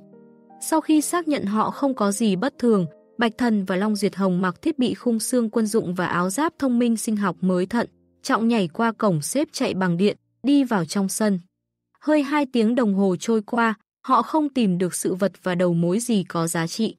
Thứ duy nhất có thể gọi là thu hoạch là họ có thể thông qua một phần tư liệu có văn tự trong trường học để xác nhận di tích đầm lầy số 1 chính là thành phố Đại Giang. Tiếp theo nên làm gì? Ra khỏi trường cấp 2 anh Tài, Long Duyệt Hồng nhìn về phía Tương Bạch Miên, lên tiếng hỏi. Tương Bạch Miên đã nghĩ sẵn trong đầu, trầm ngâm rồi nói, dựa theo kế hoạch đã định, tiếp tục đi về phía trước, đến phòng thí nghiệm bí mật mà Kiều Sơ cho nổ kia. Vì sao còn muốn qua đó? Mục đích của chúng ta không phải đã đạt được rồi sao? Long Duyệt Hồng không hiểu, hỏi. Mục đích tổ điều tra cũ bí mật lẻn vào di tích đầm lầy số 1 là để xác nhận nơi này là thành phố Đại Giang. Mà bây giờ họ đã có đáp án. Tương Bạch Miên liếc nhìn Thương Kiến Diệu và Bạch Thần, nghiêm mặt nói, bởi vì có chuyện tôi cảm thấy khá trùng hợp. Chuyện gì? Bạch Thần hỏi. Tương Bạch Miên gật đầu, mọi người không phát hiện ra sao. Hiện giờ toàn bộ những nơi liên quan đến trang sinh đều tồn tại một phòng thí nghiệm bí mật. Trong khu pha hay của Trung tâm Y tế sản khoa Hoác Mẫu có, thành phố Đài có. Nơi cách trường cao đẳng số 1 thành phố Đài không tính là xa chính là trung tâm hồi phục người thực vật bệnh viện Nhân Huệ, ở đây cũng có, thậm chí còn gần hơn. Từ trường cấp 2 Anh tài thành phố Đại Giang đến chỗ phòng thí nghiệm bí mật bị Kiều Sơ cho nổ tung, khoảng cách theo đường chim bay không vượt quá 2 cây số.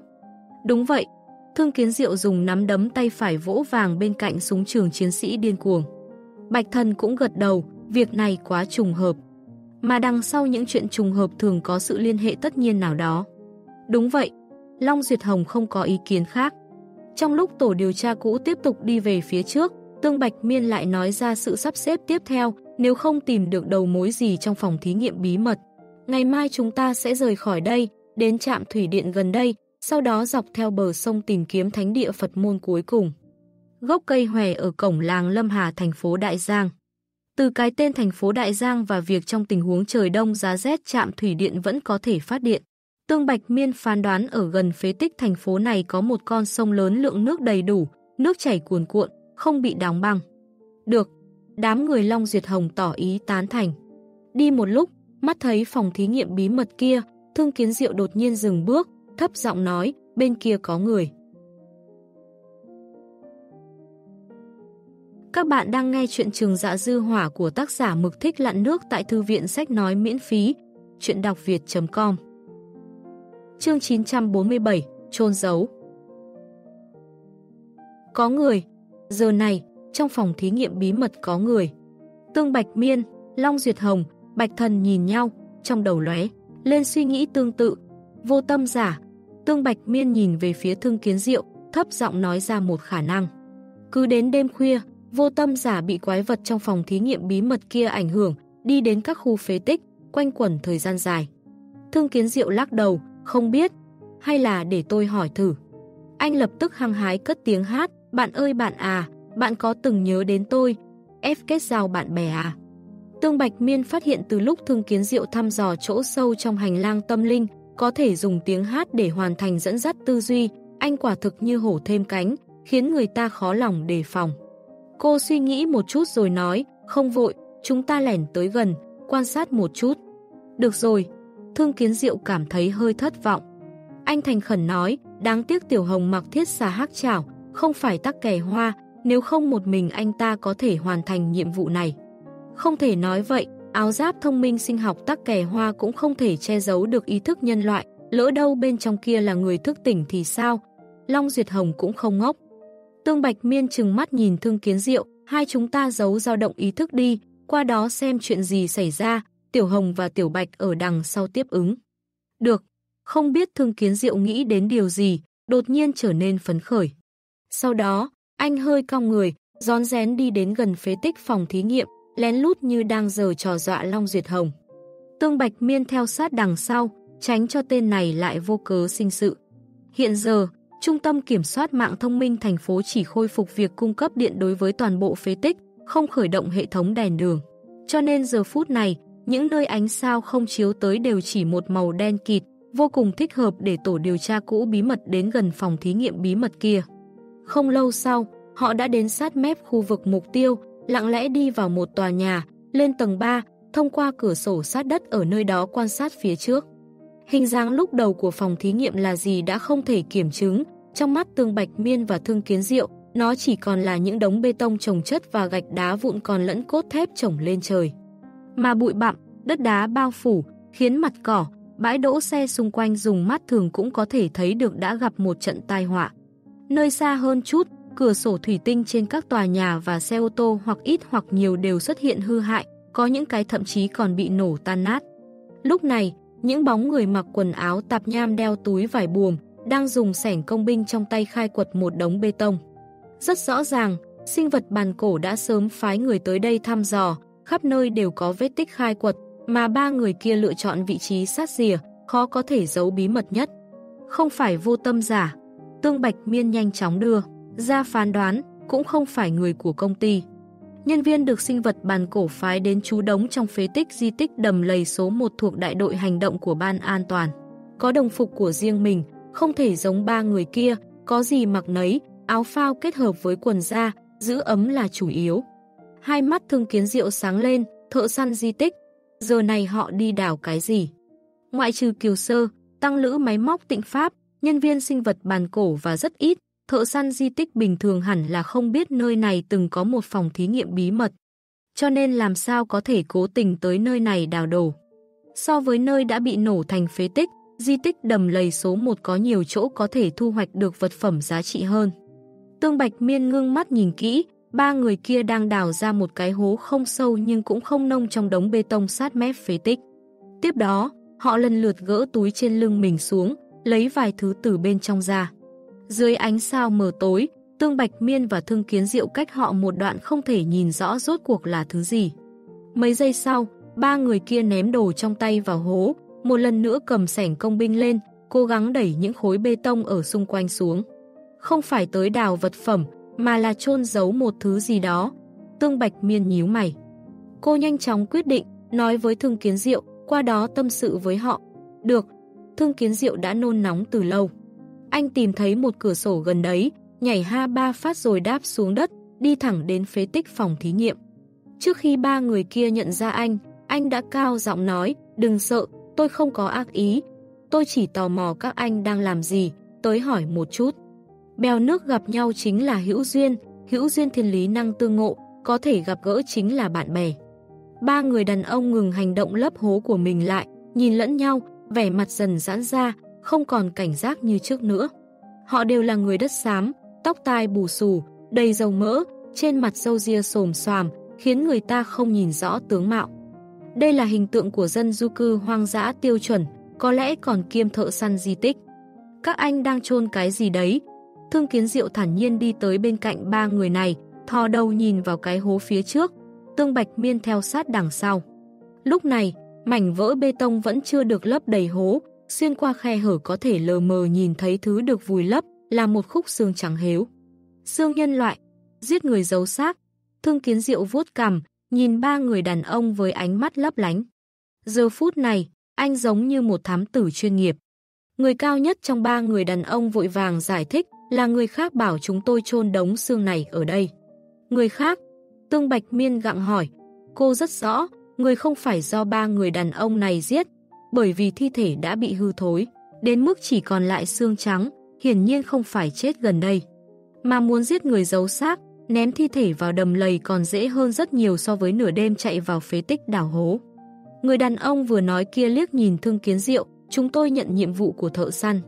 Lúc đó tôi đã cảm thấy kỳ quặc, vì sao cần phải chôn số xương trắng này ở một hơi khó hiểu trong di tích đầm lầy số 1. Còn cho chúng tôi bản đồ đường đi và cách thức làm thế nào để đi vòng qua nơi canh gác, nhưng thủ lao anh ta trả thực sự rất nhiều. Không biết tại sao, Tương Bạch Miên chợt nhớ tới suy nghĩ không đầu không đuôi của Thương Kiến Diệu lúc trước.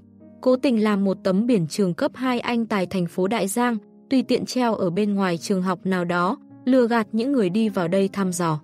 Chẳng lẽ thật sự có người giả tạo hiện trường, cố gắng lừa gạt những người khai quật đến sau.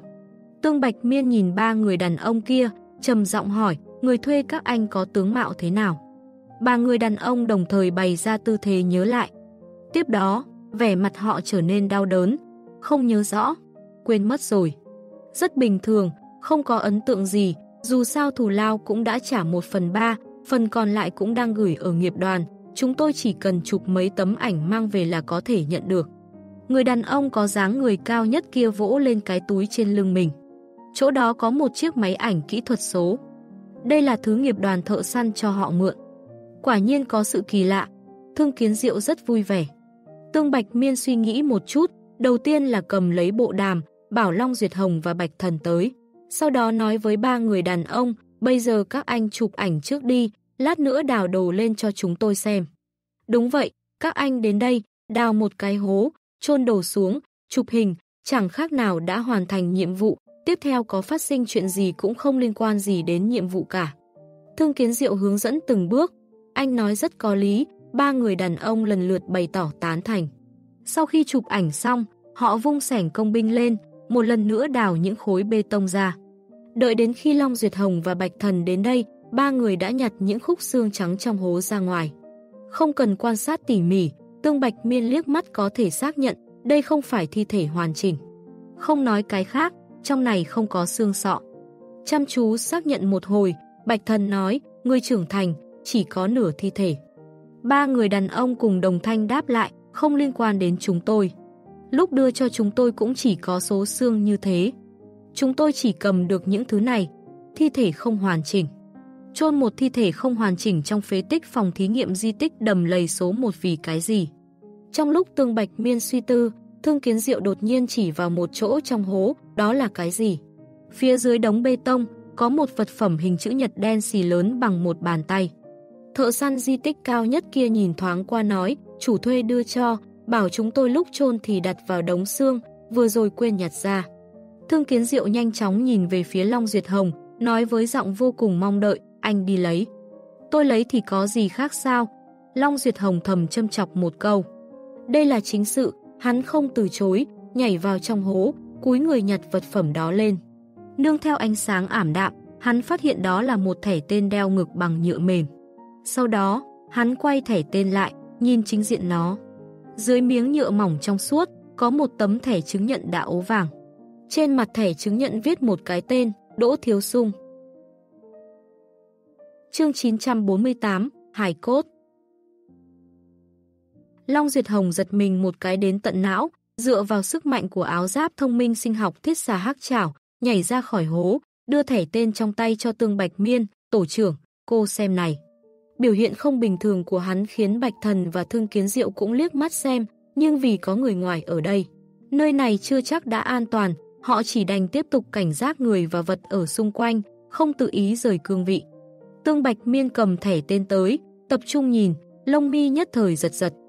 Tổ điều tra cũ không hề xa lạ với cái tên Đỗ Thiếu Sung này, họ từng gặp trong giấc mơ của Trang Sinh, chính là người mà Thương Kiến Diệu đóng vai, nghi là thân phận của Trang Sinh khi giáng thế. Hiện giờ bày ra trước mặt tổ điều tra cũ là một bộ hài cốt không hoàn chỉnh, thuộc về Đỗ Thiếu Sung, thuộc về thể giáng thế của Trang Sinh.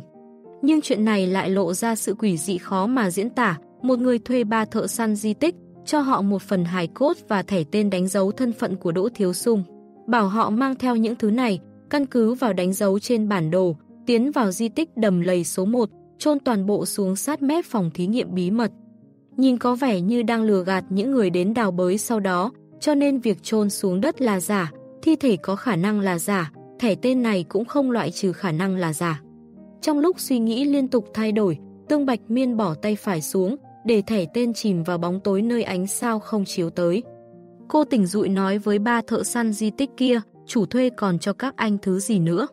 Hết rồi, không có gì khác nữa, chỉ hài cốt và thẻ tên. Ba người kia lần lượt trả lời. Tương Bạch Miên gật đầu, muộn thế này rồi, ở đây cũng không an toàn lắm, các anh sớm rời đi đi. Thương Kiến Diệu nghe nhạc hiệu đoán chương trình, lúc này nói với ba thợ săn di tích, quay lại cũng đừng nhắc đến chúng tôi, coi như hoàn toàn không có việc này. Các anh nghĩ mà xem, các anh đã thực sự hoàn thành nhiệm vụ rồi, đã chôn hài cốt và thẻ tên vào sát rìa phòng thí nghiệm bí mật, cũng chụp ảnh chứng. Minh chuyện này rồi, tiếp đó các anh rời đi, trên đường chưa từng đụng phải ai, không hề xảy ra chuyện ngoài ý muốn nào. Hiểu rồi, ba thợ săn di tích đều lần lượt mỉm cười. Họ vác túi của mình lên, xách theo sẻng công binh, vẫy tay với tổ điều tra cũ, đi về một hướng khác của di tích đầm lầy số 1. Đợi rời khỏi phế tích phòng thí nghiệm, người cao nhất kia bỗng nhiên lắc đầu. Hắn nói với vẻ hơi nghi ngờ, sao tôi cảm thấy thiếu gì đó? Không có. Rất bình thường. Hai người bạn của hắn lần lượt trả lời. Họ đều tỏ ý sự việc rất thuận lợi, nhóm người mình đã thành công chôn hài cốt và thẻ tên đến nơi đã định, hoàn thành nhiệm vụ rồi, ở giữa không xảy ra chuyện gì. Xem ra tôi hơi thần hồn nát thần tính rồi. Thợ săn di tích cao nhất kia thở phào một hơi thật dài. Sau khi họ đi xa, Long Duyệt Hồng đã thu ánh mắt lại, tò mò hỏi Thương Kiến Diệu, như vậy tương đương với việc thôi miên để họ quên đi chuyện vừa rồi. Không tính là quên, chỉ là bỏ qua, đồng thời tự tìm lý do để lừa dối bản thân. Thương Kiến Diệu nghiêm túc giải thích, cắt bỏ ký ức trên ý nghĩa vật lý là xóa đi nội dung tương ứng, quên trong thôi miên là ẩn giấu ký ức tương ứng, chôn sâu vào nơi không dễ bị phát giác. Quên trong dẫn dắt tư duy đại khái là dựa vào việc một lần nữa đưa cho Kim chỉ nam, khiến từ then chốt để khởi động đoạn ký ức này chỉ sang một nội dung khác. Anh càng nói càng khó hiểu, rất có phong phạm chuyên nghiệp. Cũng may, Long Duyệt Hồng từng học kiến thức về phương diện này, có thể hiểu được. Tổ trưởng, thứ vừa rồi có gì không ổn? Bạch Thần quan tâm đến thứ Long Duyệt Hồng nhặt được từ trong hố hơn. Tương Bạch Miên giơ tay phải lên, bày ra cho Thương Kiến Diệu và Bạch Thần nhìn, hai người tự xem đi. Thương Kiến Diệu liếc nhìn lại, đột nhiên khóc than, Tiểu Sung à, cậu chết thật thảm. Tiểu dung nói anh đừng có nguyền rủa tôi. Đôi khi Tương Bạch Miên cảm thấy Thương Kiến Diệu thực sự rất dễ lừa. Đương nhiên, việc này còn được quyết định bởi nhân cách nào đang nắm giữ cơ thể. Xương cốt của Tiểu dung đâu có lớn vậy, cô chọn một lý do trực quan nhất để lấy lệ. Đúng vậy, Thương Kiến Diệu đấm nắm tay phải vào lòng bàn tay trái. Long Duyệt Hồng không nhịn được càn nhằn, sự tồn tại có lai lịch thần bí, có khả năng liên quan đến trang sinh như Tiểu Sung này, có hài cốt bình thường hay không còn chưa biết được. Bạch thần nhìn hài cốt không hoàn chỉnh trên mặt đất, mím môi một cái rồi nói, vì sao lại có người chôn số hài cốt này ở đây, đồng thời còn muốn người tới sau tin rằng chúng thuộc về Đỗ Thiếu Sung. Thương Kiến Diệu lấy lại tinh thần, phấn khởi nói, tôi hiểu rồi. Anh lại hiểu rồi. Tương Bạch Miên không cắt ngang suy nghĩ tán loạn của tên này. Thương Kiến Diệu hăng hái bừng bừng giải thích, đây là một nghi thức, yếm thắng chi thuật. Họ chôn hài cốt và thẻ tên của Đỗ Thiếu Sung vào một chỗ nào. Đó trong thành phố mà anh ta từng học cấp 2, thậm chí là tiểu học, lợi dụng nguyên lý tương ứng, chấn áp oán niệm và hận thù của đối phương. Sở dĩ hài cốt không được hoàn chỉnh là vì chỗ còn thừa được chôn ở chỗ khác, cũng là một nơi có ý nghĩa, nói cứ như thật vậy. Nếu không phải từng xem một lượng lớn tư liệu giải trí của thế giới cũ, chưa biết Trừng Long Duyệt Hồng đã bị Thương Kiến Diệu thuyết phục. Vậy thì ai giết Đỗ Thiếu Sung, hoặc nên nói, khiến anh ta có oán niệm và hận thù tận trời? Tương Bạch Miên theo cách nói của Thương Kiến Diệu, mỉm cười hỏi lại một câu. Thương Kiến Diệu lắc đầu, không biết, đợi điều tra tiếp phần sau. Bạch Thần im lặng một hồi, chậm rãi nói, chúng ta vẫn không thể xác định bộ hài cốt này có thực sự thuộc về Đỗ Thiếu Sung không, chưa biết chừng thẻ tên cũng là giả, dùng để ngụy tạo. Hơn nữa muốn kiểm tra DNA cũng không thể, không có bản mẫu để đối chiếu, nhất thời cũng không tìm được hậu duệ của Đỗ Thiếu Sung. Tương Bạch Miên thở hát ra, trong cảm ứng của tôi, những khúc xương này không tồn tại lực lượng gì. Cô cân nhắc một chút rồi nói, tôi càng tin rằng bộ hài cốt và thẻ tên được chôn ở đây là để lừa gạt người khai quật đến sau. Ví dụ như những người truy tìm chân tướng thế giới cũ bị hủy diệt như chúng ta. Nếu chúng ta tin rằng đây là Đỗ Thiếu Sung, tin rằng anh ta chết trong phòng thí nghiệm này, sẽ xảy ra chuyện gì? Long Duyệt Hồng căn cứ vào nghi ngờ của Tương Bạch Miên, mạnh dạn đặt giả thiết, nói ra vấn đề. Cùng lắm thì cho rằng Trang Sinh đã chết, nhưng sau khi trở về thế giới mới, thể dáng thế của ngài chết không phải là chuyện rất bình thường sao? Bạch Thần thử phân tích. Tương Bạch Miên ngương mắt nhìn đống xương một hồi, tạm thời không có đầu mối gì, chúng ta cất bộ hài cốt và thẻ tên đi, quay về nghiên cứu thêm. Được, Thương Kiến Diệu vô cùng hăng hái, họ gói thật kỹ bộ hài cốt, bỏ vào ba lô của mình, sau đó lại tìm kiếm trong phòng thí nghiệm một hồi, nhưng không phát hiện ra đầu mối khác. Thấy thời gian không còn sớm nữa, Tương Bạch Miên hạ lệnh trở về.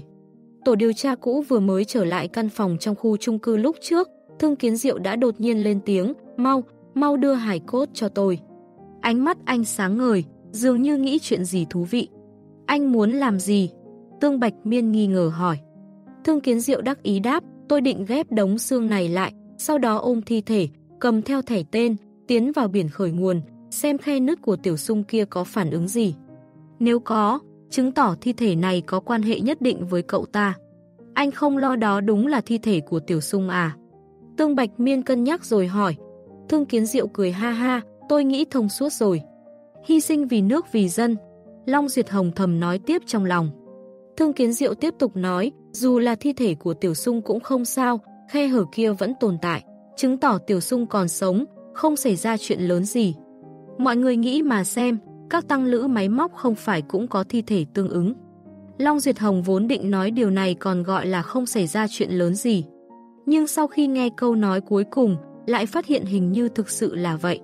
Các tăng lữ máy móc tồn tại chứng minh rằng nhân loại đã có thể bước đầu thoát khỏi sự hạn chế của cơ thể. Vậy thử xem đi. Tương Bạch Miên đáp lại, dù sao cũng không có cách nào khác.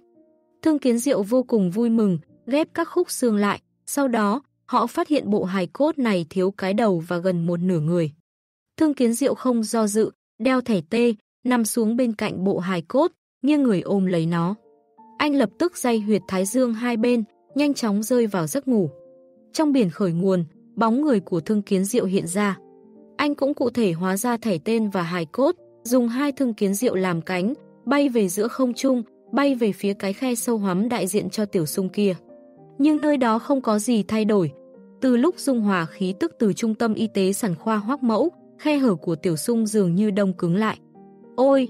Thương kiến diệu thở dài, thử ném xương vào trong khe hở. Bộ xương là vật phẩm phi thực chất do anh cụ thể hóa ra, vừa thoát khỏi anh thì lập tức biến mất, biển khởi nguồn không giấy lên chút dao động nào. Sau khi thử nhiều lần không có hiệu quả, Thương Kiến Diệu cảm thấy tiếc nuối, tự nói, không phải tiểu sung. Anh lập tức rời khỏi biển khởi nguồn của mình, quay về thế giới hiện thực. Chỗ nào đó trên băng nguyên, bên trong thùng lũng, cây cỏ xanh mơn mởn, đất đai màu mỡ, nhiệt đột không khí giống như ở phía nam. Trưởng lão Lo Tần của thành tuế mạt nằm trên giường mình, tiến vào hành lang tâm linh. Ông ta là người thức tỉnh thăm dò vào chỗ sâu trong hành lang tâm linh, hiện đang tìm cánh cửa nối đến thế giới mới. Mà những căn phòng mà thành tuế mạt nắm giữ, ông ta đều đã đi qua, không có bất cứ cảm giác quen thuộc nào, cho nên chỉ có thể thử mở một căn phòng xa lạ, chưa từng tiếp xúc. Đi dọc theo hành lang trải thảm vàng thẫm một hồi, Lawton rốt cuộc thấy một căn phòng, 131. Các bạn đang nghe chuyện trường dạ dư hỏa của tác giả Mực Thích Lặn Nước tại Thư viện Sách Nói miễn phí, chuyện đọc việt.com Chương 949, chỗ cuối cùng 131. Lawton đọc biển số của căn phòng kia, là người thức tỉnh thăm dò vào chỗ sâu trong hành lang tâm linh, ông ta có đầy đủ tự tin vào thực lực của bản thân. Nhưng điều này không có nghĩa rằng ông ta không biết kiêng nể gì, không lo âu khi tiến vào một căn phòng mới. Căn phòng này có thể thuộc về bất cứ cường giả thế giới mới nào, cũng có thể là giấc mơ của một vị chấp tuế. Dù là người thức tỉnh cùng cấp bậc với Lawton, nếu như cái giá phải trả có chỗ kỳ quặc, bóng ma tâm lý liên quan đến phạm vi rộng, có phần kỳ dị, cũng có thể khiến người đột nhiên tiếp xúc như ông ta phải ăn quả đắng. Lawton sờ hai vệt pháp lệnh càng ngày càng sâu của mình, điều chỉnh tâm trạng, giơ tay phải ra, vặn nắm đấm cửa bằng đồng, mở cửa phòng 131. Lần này ông ta không định thâm nhập sâu vào trong, chỉ quan sát một chút ở rìa giấc mơ hoặc là bóng ma tâm lý, tìm hiểu tình hình, lùi ra bất cứ lúc nào cần thiết. Sau khi cánh cửa phòng đỏ thẫm mở ra, Lawton bước về phía trước hai bước. Theo đó cảnh tượng trước mắt ông ta có sự thay đổi. Một lối hành lang kéo dài đến hết tầm mắt, phía trên và hai bên được sơn thành màu trắng thuần, mùi nước sát trùng gây mũi tràn ngập trong không gian. Bệnh viện, Lawton căn cứ vào kinh nghiệm và kiến thức để đưa ra lời suy đoán. Điều này khiến ông ta một lần nữa đề cao cảnh giác.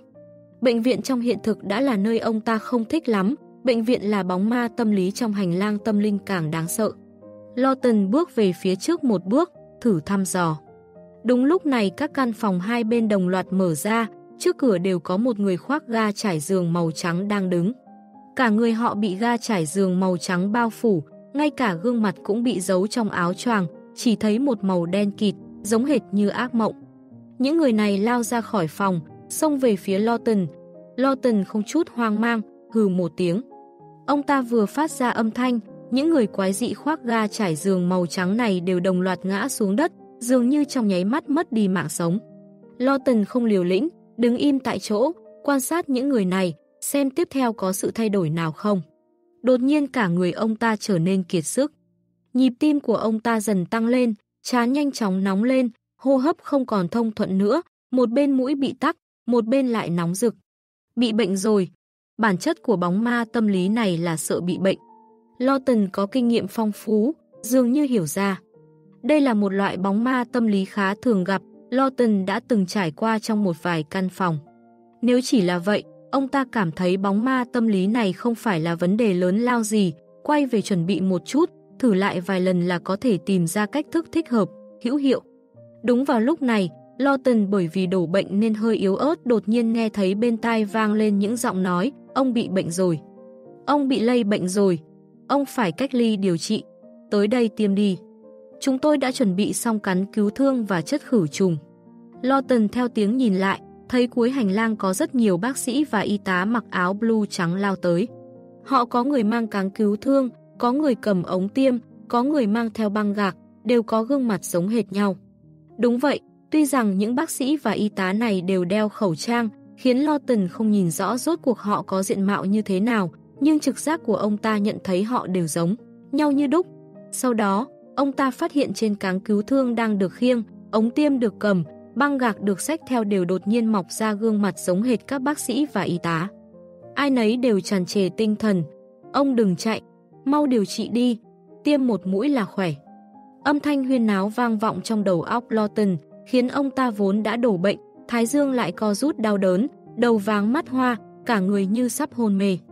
Ông ta đang định đối phó với những quái vật này, cánh tay đột nhiên cảm thấy đau đớn. Lawton cuống quýt quay đầu lại, phát hiện cánh tay mình đã bị tiêm một mũi. Người tiêm cho ông ta chính là bức tường, bức tường trên hành lang. Bức tường kia cũng mọc ra gương mặt của bác sĩ và y tá. Được rồi, ông đã bị gây mê. Bức tường lên tiếng nói. Lawton lập tức cảm thấy buồn ngủ, ông ta dùng tư thế khó mà chịu được lăn lộn lao ra. Ông ta biết là không ổn, vội vàng lùi lại hai bước, ngã về phía sau.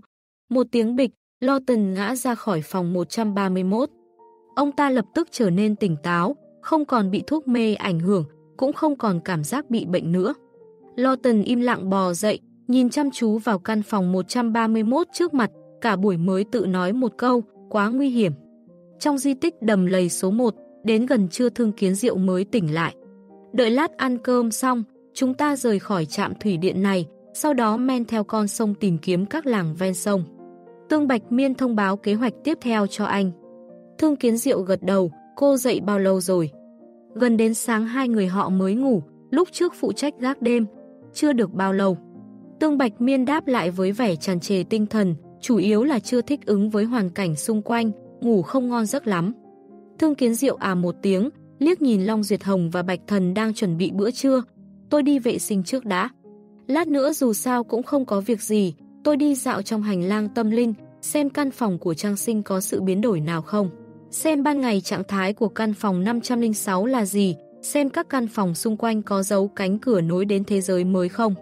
Tương Bạch Miên suy nghĩ một chút rồi nói, tiếp theo không biết sẽ gặp phải điều gì, không cần thiết để việc thăm dò hành lang tâm linh gây cản trở. Ừm, chỉ xem căn phòng của Trang Sinh có thay đổi gì không là được. Được rồi, Thương Kiến Diệu cũng không ép buộc. Một lát sau, anh trở lại phòng khách, ngồi xếp bằng dưới đất, dựa vào lan can bảo hộ của cửa sổ sát đất, dây hai huyệt thái dương, tiến vào giấc ngủ say. Trong hành lang tâm linh, Thương Kiến Diệu một lần nữa đẩy cánh cửa màu đỏ thẫm của căn phòng 102 ra. Anh đi vào trong một bước, trước mắt xuất hiện một mặt biển rộng lớn màu xanh thẫm gần như đen. Đại dương mênh mông vô bờ bến, trên trời cao chỉ là một màu đen kịt. Đúng lúc này bóng tối hơi động đậy, di chuyển một khoảng cách về phía xa theo phương nằm ngang. Đó, lại là một con chim lớn che khuất bầu trời. Không thú vị gì cả. Thương Kiến Diệu đã nhìn cảnh tượng tương tự rất nhiều lần, đã sớm thưởng thức đến mệt, cho nên vẻ mặt anh vẫn lạnh nhạt thờ ơ. Anh lập tức lùi ra khỏi căn phòng 102. Buổi chiều tổ điều tra cũ lái xe theo con đường lúc tới rút khỏi di tích đầm lầy số 1, cũng chính là thành phố Đại Giang của thế giới cũ. Ngay sau đó, họ đi xung quanh phế tích thành phố, tìm kiếm con sông lớn vẫn cuồn cuộn chảy không ngừng kia. Việc này làm đám người tương bạch miên tốn hơn 2 tiếng đồng hồ, cuối cùng một con sông lớn vẫn chảy cuồn cuộn dù đang là mùa đông xuất hiện trước mắt họ. Nơi xa hơn một chút, chỗ tiếp giáp với ngọn núi, có một trạm thủy điện đứng sừng sững. Xuống hạ du tìm trước đi, tương bạch miên ra lệnh. Long Duyệt Hồng phụ trách lái xe ừm một tiếng. Qua vài giây, hắn lúc trước có chút im lặng, bây giờ lại lầm bầm nói vì sao công ty lại giấu chuyện di tích đầm lầy số 1 là thành phố Đại Giang. Chuyện này hoàn toàn không thể giấu được, chúng ta tùy tiện tìm một thợ săn di tích từng tiến vào nơi này là có thể hỏi được đáp án. Hắn ám chỉ công ty hẳn là không cố ý giấu nhóm người mình, mà lúc thiết lập quyền hạn đã xảy ra vấn đề. Có lẽ không muốn chúng ta biết rằng thánh địa Phật môn cuối cùng ở ngay bên cạnh một cách quá sớm. Bạch thân thử suy đoán, nhưng sớm muộn gì chúng ta cũng biết, thương kiến diệu thành thật có sao nói vậy. Tương Bạch Miên như có điều suy nghĩ, suy đoán, cố tình để chênh lệch thời gian sao. Từ lúc phát hiện ra di tích đầm lầy số 1 đến nay, đã qua hơn 2 năm, nếu công ty thực sự muốn dành thời gian làm chuyện gì đó, hẳn là cũng đủ rồi. Bốn thành viên của tổ điều tra cũ nghĩ mãi không ra được sự bất thường của sinh vật bàn cổ ở điểm này. Kể cả xếp tổng là chấp tuế tư mệnh, muốn coi người của công ty thành gia súc nuôi nhốt trong chuồng, họ cũng không thể nhận được câu trả lời hợp lý. Mang theo sự nghi hoặc như vậy, vào lúc trời sắp tối, tổ điều tra cũ phát hiện ra một thôn làng. Kiến trúc của thôn làng này có kiểu dáng cổ xưa, nằm ở khúc quanh con sông, ẩn giấu dưới ánh chiều tà. Nhưng vì liên quan đến vị trí, tổ điều tra cũ không thể nhìn thấy bên cạnh cổng làng có cây hòe già hay không. Là nơi này sao? Tương Bạch Miên hỏi Thương Kiến Diệu. Thương Kiến Diệu ngồi ở hàng ghế sau, thò đầu ra khỏi cửa sổ xe, nhìn kỹ càng vài giây, có lẽ, chắc là, đại khái, nói chung là vậy. Nghiêm ngặt thật đấy, Tương Bạch Miên hận đến ngứa răng. Cô lại nói với Bạch Thần, đừng vội vào làng, đi vòng từ một bên khác. Dù sao trọng tâm cũng là gốc cây hòe già kia. Bạch Thần thay phiên lái xe gật đầu, để chiếc xe chạy qua cánh đồng hoang bên ngoài thôn làng. Lúc này, trên mặt đất vẫn còn chút tuyết động, khiến cho bánh xe vang lên tiếng ken két. Nói đến cây hòe già, ôi, lại nhớ đến một chuyện ma. Thương Kiến Diệu đột nhiên nghiêng người về phía trước, nói với Long Duyệt Hồng ở vị trí ghế lái phụ. Dừng, Tương Bạch Miên ngắt lời anh, Thương Kiến Diệu biết điều ngậm miệng lại. Không lâu sau, họ đi qua một con đường nhỏ dẫn đến cổng làng. Một cây hòe lớn đứng sừng sững ở đó, những cành cây màu nâu xám trơ trọi lung lay theo gió, điểm xuyết một vài mảng tuyết trắng. Nó trụi rồi, Thương Kiến Diệu chỉ ra, đang là mùa đông. Tương Bạch Miên lườm tên này một cái, là cái cây anh nhìn thấy trong bóng ma tâm lý của Trang Sinh à. Rất giống nhưng nó không có lá cây, Thương Kiến Diệu không dám xác định. Tương Bạch Miên thở hát ra, nói với Bạch Thần và Long Duyệt Hồng, đỗ xe lại đi. Chắc hẳn chính là chỗ này, thánh địa Phật môn cuối cùng. Chương 950, tìm kiếm sự bất thường. Bốn thành viên của tổ điều tra cũ đỗ xe Jeep lại, lần lượt đẩy cửa đi xuống. Tương Bạch Miên hơi nheo mắt lại, đồng thời dùng cả hai phương pháp cảm ứng một hồi. Không có thứ gì đặc biệt, cô nói bằng giọng rất bình tĩnh. Nếu có thể lập tức phát hiện ra thánh địa Phật môn này bất thường ở chỗ nào, ngược lại cô sẽ nghi ngờ có vấn đề. Thương Kiến Diệu mỉm cười, đó là vì phương pháp của cô không đúng. Anh bỏ ba lô chiến thuật xuống, lấy ngọc sáu giác quan từ bên trong ra. Tia sáng màu xanh lục nhàn nhạt, nhạt chiếu rọi bốn phía, khiến khu vực này mang vẻ tĩnh mịch thanh tịnh. Mà kết hợp với ánh hoàng hôn, hoàn cảnh mờ tối, lại thêm một màu âm u kỳ dị. Trong đầu Long Duyệt Hồng hiện lên các bộ phim ma xem trong tư liệu giải trí của thế giới cũ. Thương Kiến Diệu cầm ngọc sáu giác quan, đi về phía cây hòe già ở phía trước. Nhưng những nơi mà ánh sáng màu xanh lục có thể chiếu tới, không có bất cứ sự bất thường nào ẩn náu. Từ trên cây đến dưới mặt đất, đều giống hệt như vừa rồi, chỉ là nhuộm thêm màu ánh sáng tỏa ra từ ngọc sáu giác quan. Không giống với lúc Thương Kiến Diệu ở trung tâm y tế sản khoa hoác Mẫu, sau khi kích hoạt ngọc sáu giác quan, lập tức soi sáng một luồng khí tức màu trắng ẩn nấp trong bình đựng dung dịch đạp. Không được, Thương Kiến Diệu thất vọng lắc đầu, anh lập tức cất ngọc sáu giác quan đi, lại lấy ngọc Phật ra. Thứ này cũng không mang đến bất cứ sự thay đổi nào. Cũng không được. Thương Kiến Diệu nói với Ngọc Phật với vẻ đau lòng, là vật phẩm đảm nhiệm trọng trách trong thánh địa Phật môn. Mày không thể vừa rời khỏi phế tích xưởng sắt thép thì lập tức biến chất được, mày nghĩ chút đi, sau đó mày còn làm được chuyện gì. Trong công ty thực phẩm số 2 thành phố Thiết Sơn, kích hoạt hình ảnh lưu trữ, ở chợ đá đỏ dẫn tới ánh nhìn của Uco. Được ngài trao cho chút khí tức, sau đó đối phó với tiến sĩ, chỉ dựa vào luồng khí tức kia để dọa người ta. Thương Kiến Diệu tỏ vẻ muốn nói lý với Ngọc Phật, giải thích một cách rõ ràng. Đáng tiếc, Ngọc Phật không thèm để ý đến anh, cũng không tiếp nhận sự giáo dục thuyết phục. Tương Bạch miên thầm thở dài, thử không cho tên này đắm chìm vào đó, thôi đi, thực ra nó đã làm được rất nhiều chuyện, lập rất nhiều công lao, không cần phải lúc hữu dụng thì gọi nó là Ngọc Phật, lúc vô dụng lại mắng nó là đồ thối tha. Không đợi Thương Kiến Diệu đáp lại, Tương Bạch Miên cân nhắc rồi nói, hơn nữa không phải lúc trước chúng ta đã từng suy đoán, năm đại thánh địa Phật môn hoàn toàn sâu chuỗi sao. Lúc đến phế tích xưởng sắt thép, lấy được Ngọc Phật, mới có thể nhìn thấy đoạn quá khứ ẩn giấu trong công ty thực phẩm số 2 thành phố Thiết Sơn. Chỉ khi nhận được luồng khí tức màu xanh lục từ công ty thực phẩm số 2 thành phố Thiết Sơn, mới có thể phát hiện ra sự bất thường ở trung tâm y tế sản khoa hoác Mẫu, tìm ra luồng khí tức màu trắng. Nghe đến đó, Bạch Thần nhìn sang bên cạnh, cảnh giác cao độ, vừa lên tiếng nói, nhưng sau khi chúng ta đến trường cao đẳng số 1 thành phố Đài, luồng khí tức màu trắng kia cũng không phát huy tác dụng. Đúng vậy, Long Duyệt Hồng tỏ ý tán thành, hơn nữa chúng ta nhận được khí tức màu xanh lục ở công ty thực phẩm số 2 thành phố Thiết Sơn. Cũng không phải vì chúng ta kích hoạt hình ảnh ẩn giấu trong đó, mà là vượt qua bóng ma tâm lý tương ứng. Sự liên quan giữa các thánh địa Phật môn cũng không mật thiết lắm, thậm chí còn đứt gãy chuỗi. Tương Bạch Miên gật đầu, nói ra suy nghĩ của mình, nếu không phải này vượt qua bóng ma tâm lý tương ứng với công ty thực phẩm số 2 thành phố Thiết Sơn từ trước. Tôi cảm thấy sau khi kích hoạt hình ảnh được ẩn giấu bên trong, chúng ta vẫn không thể lấy được luồng khí tức màu xanh lục đặc thù kia. Lúc ở trường cao đẳng số 1 thành phố Đài, bởi vì luồng khí tức màu trắng ở trung tâm y tế sản khoa hoác mẫu tiến vào biển khởi nguồn, dung hòa với khe hở của tiểu sung, cố định lại, mới không phát huy tác dụng tương ứng khi chúng ta rơi vào giấc mơ của Trang Sinh.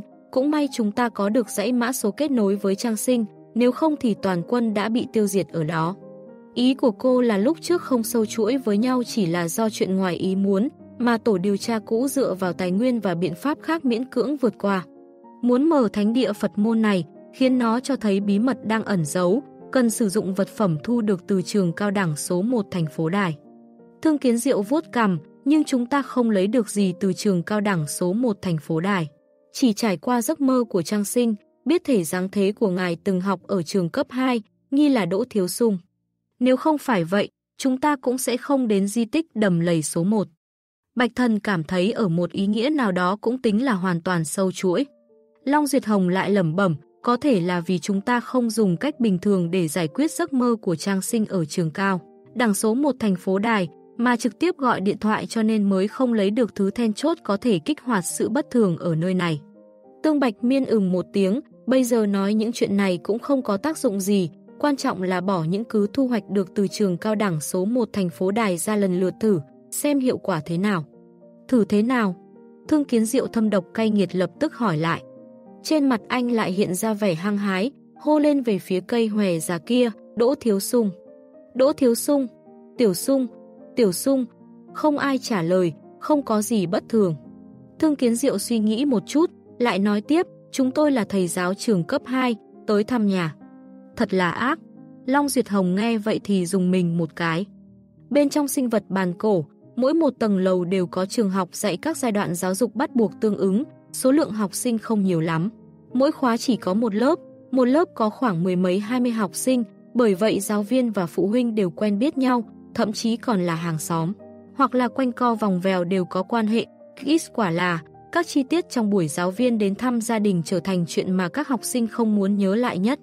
Lúc này, cành cây hòe già khẽ đung đưa theo gió, không có gì thay đổi. Không có tác dụng, thương kiến diệu nhún vai với tương bạch miên. Tương Bạch Miên nói như có điều suy nghĩ, còn chưa thử hết đâu.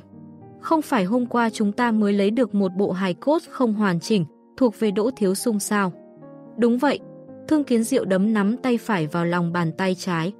Vẻ mặt Bạch Thần hơi thay đổi, người đứng đằng sau kia tìm người chôn bộ hài cốt vào phế tích phòng thí nghiệm, chính là để mai này có người đào ra, nhận rõ thân phận, đưa tới nơi này.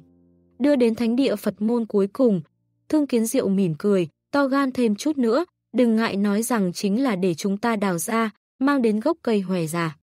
Đây là bổ sung cho mắt xích còn thiếu kia. Rốt cuộc vị kia muốn làm gì? Long Duyệt Hồng vừa nghi hoặc vừa lo lắng. Tương Bạch Miên chậm rãi thở hát ra, phải thử mới biết được. Đem hải cốt ra đây. Bốn thành viên của tổ điều tra cũ lần lượt lấy xương trắng để bên trong ba lô chiến thuật của mình ra, đặt chúng dưới gốc cây hòe già kia. Trong quá trình này, Họ luôn giữ đội hình một người đến gần, ba người cách xa, để đề phòng chuyện bất chắc. Nhưng đặt bộ hài cốt không hoàn chỉnh cùng bảng tên đánh dấu thân phận xuống phía dưới cây hòe già, bị ánh hoàng hôn chiếu ra từng bóng mờ, thánh địa Phật môn này vẫn không có gì thay đổi. Tương Bạch Miên trầm tư một hồi rồi nói, nhân lúc trời còn chưa tối, chúng ta kiểm tra khu vực này. Khu vực này là chỉ phạm vi xung quanh cây hòe già, không gồm làng Lâm Hà, bởi vì ánh sáng ngày càng tối đi, thời gian không còn đủ nữa. Sau khi phân công nhau kiểm tra kỹ càng nghiêm túc, bốn thành viên của tổ điều tra cũ xác nhận xung quanh cây hòe già không có gì bất thường, bản thân nó cũng không. Vậy phải làm sao? Thương kiến diệu lầm bầm, đột nhiên anh đi về phía trước mấy bước, ngồi xếp bằng dưới gốc cây hòe già. Anh làm gì đấy? Long Duyệt Hồng ngạc nhiên hỏi. Thương kiến diệu nghiêm túc đáp, mô phỏng lại cảnh tượng năm đó. Có lẽ Trang Sinh đã giảng Pháp ở nơi này hoặc là nhập diệt. Sau đó, anh tụng niệm một tiếng Phật hiệu Nam Mô A Nhục Đa La Tam Miệu Tam Bồ Đề. Trong lúc âm thanh vang vọng, sắc trời ngày càng tối xuống. Trừ cái đó ra, tất cả vẫn như bình thường. Tương Bạch Miên nhìn cảnh tượng này, trong đầu hiện ra vô số suy nghĩ, rồi lại từ từ lắng xuống. Một lát sau, Bạch Thần nói với cô, tổ trưởng, trời sắp tối rồi, chúng ta có phải tìm một chỗ hạ trại không? Tương Bạch Miên lấy lại tinh thần, a một tiếng, đừng vội phải thử một lần nữa. Thử cái gì? Long Duyệt Hồng và Thương Kiến Diệu đồng thanh nói.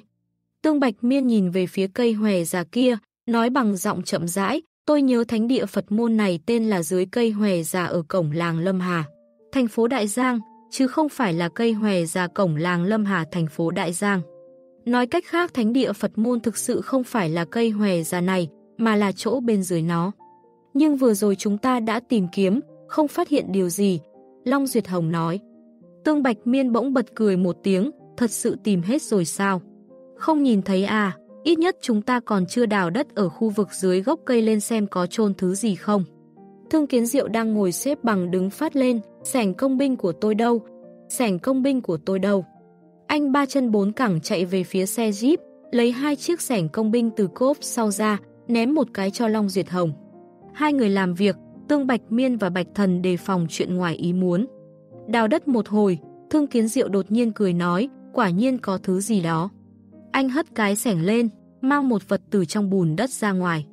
Thứ này lăn đến chỗ rễ cây, dừng lại ở đó. Đó là một khối xương sọ màu trắng của nhân loại, hai hốc mắt đen kịt.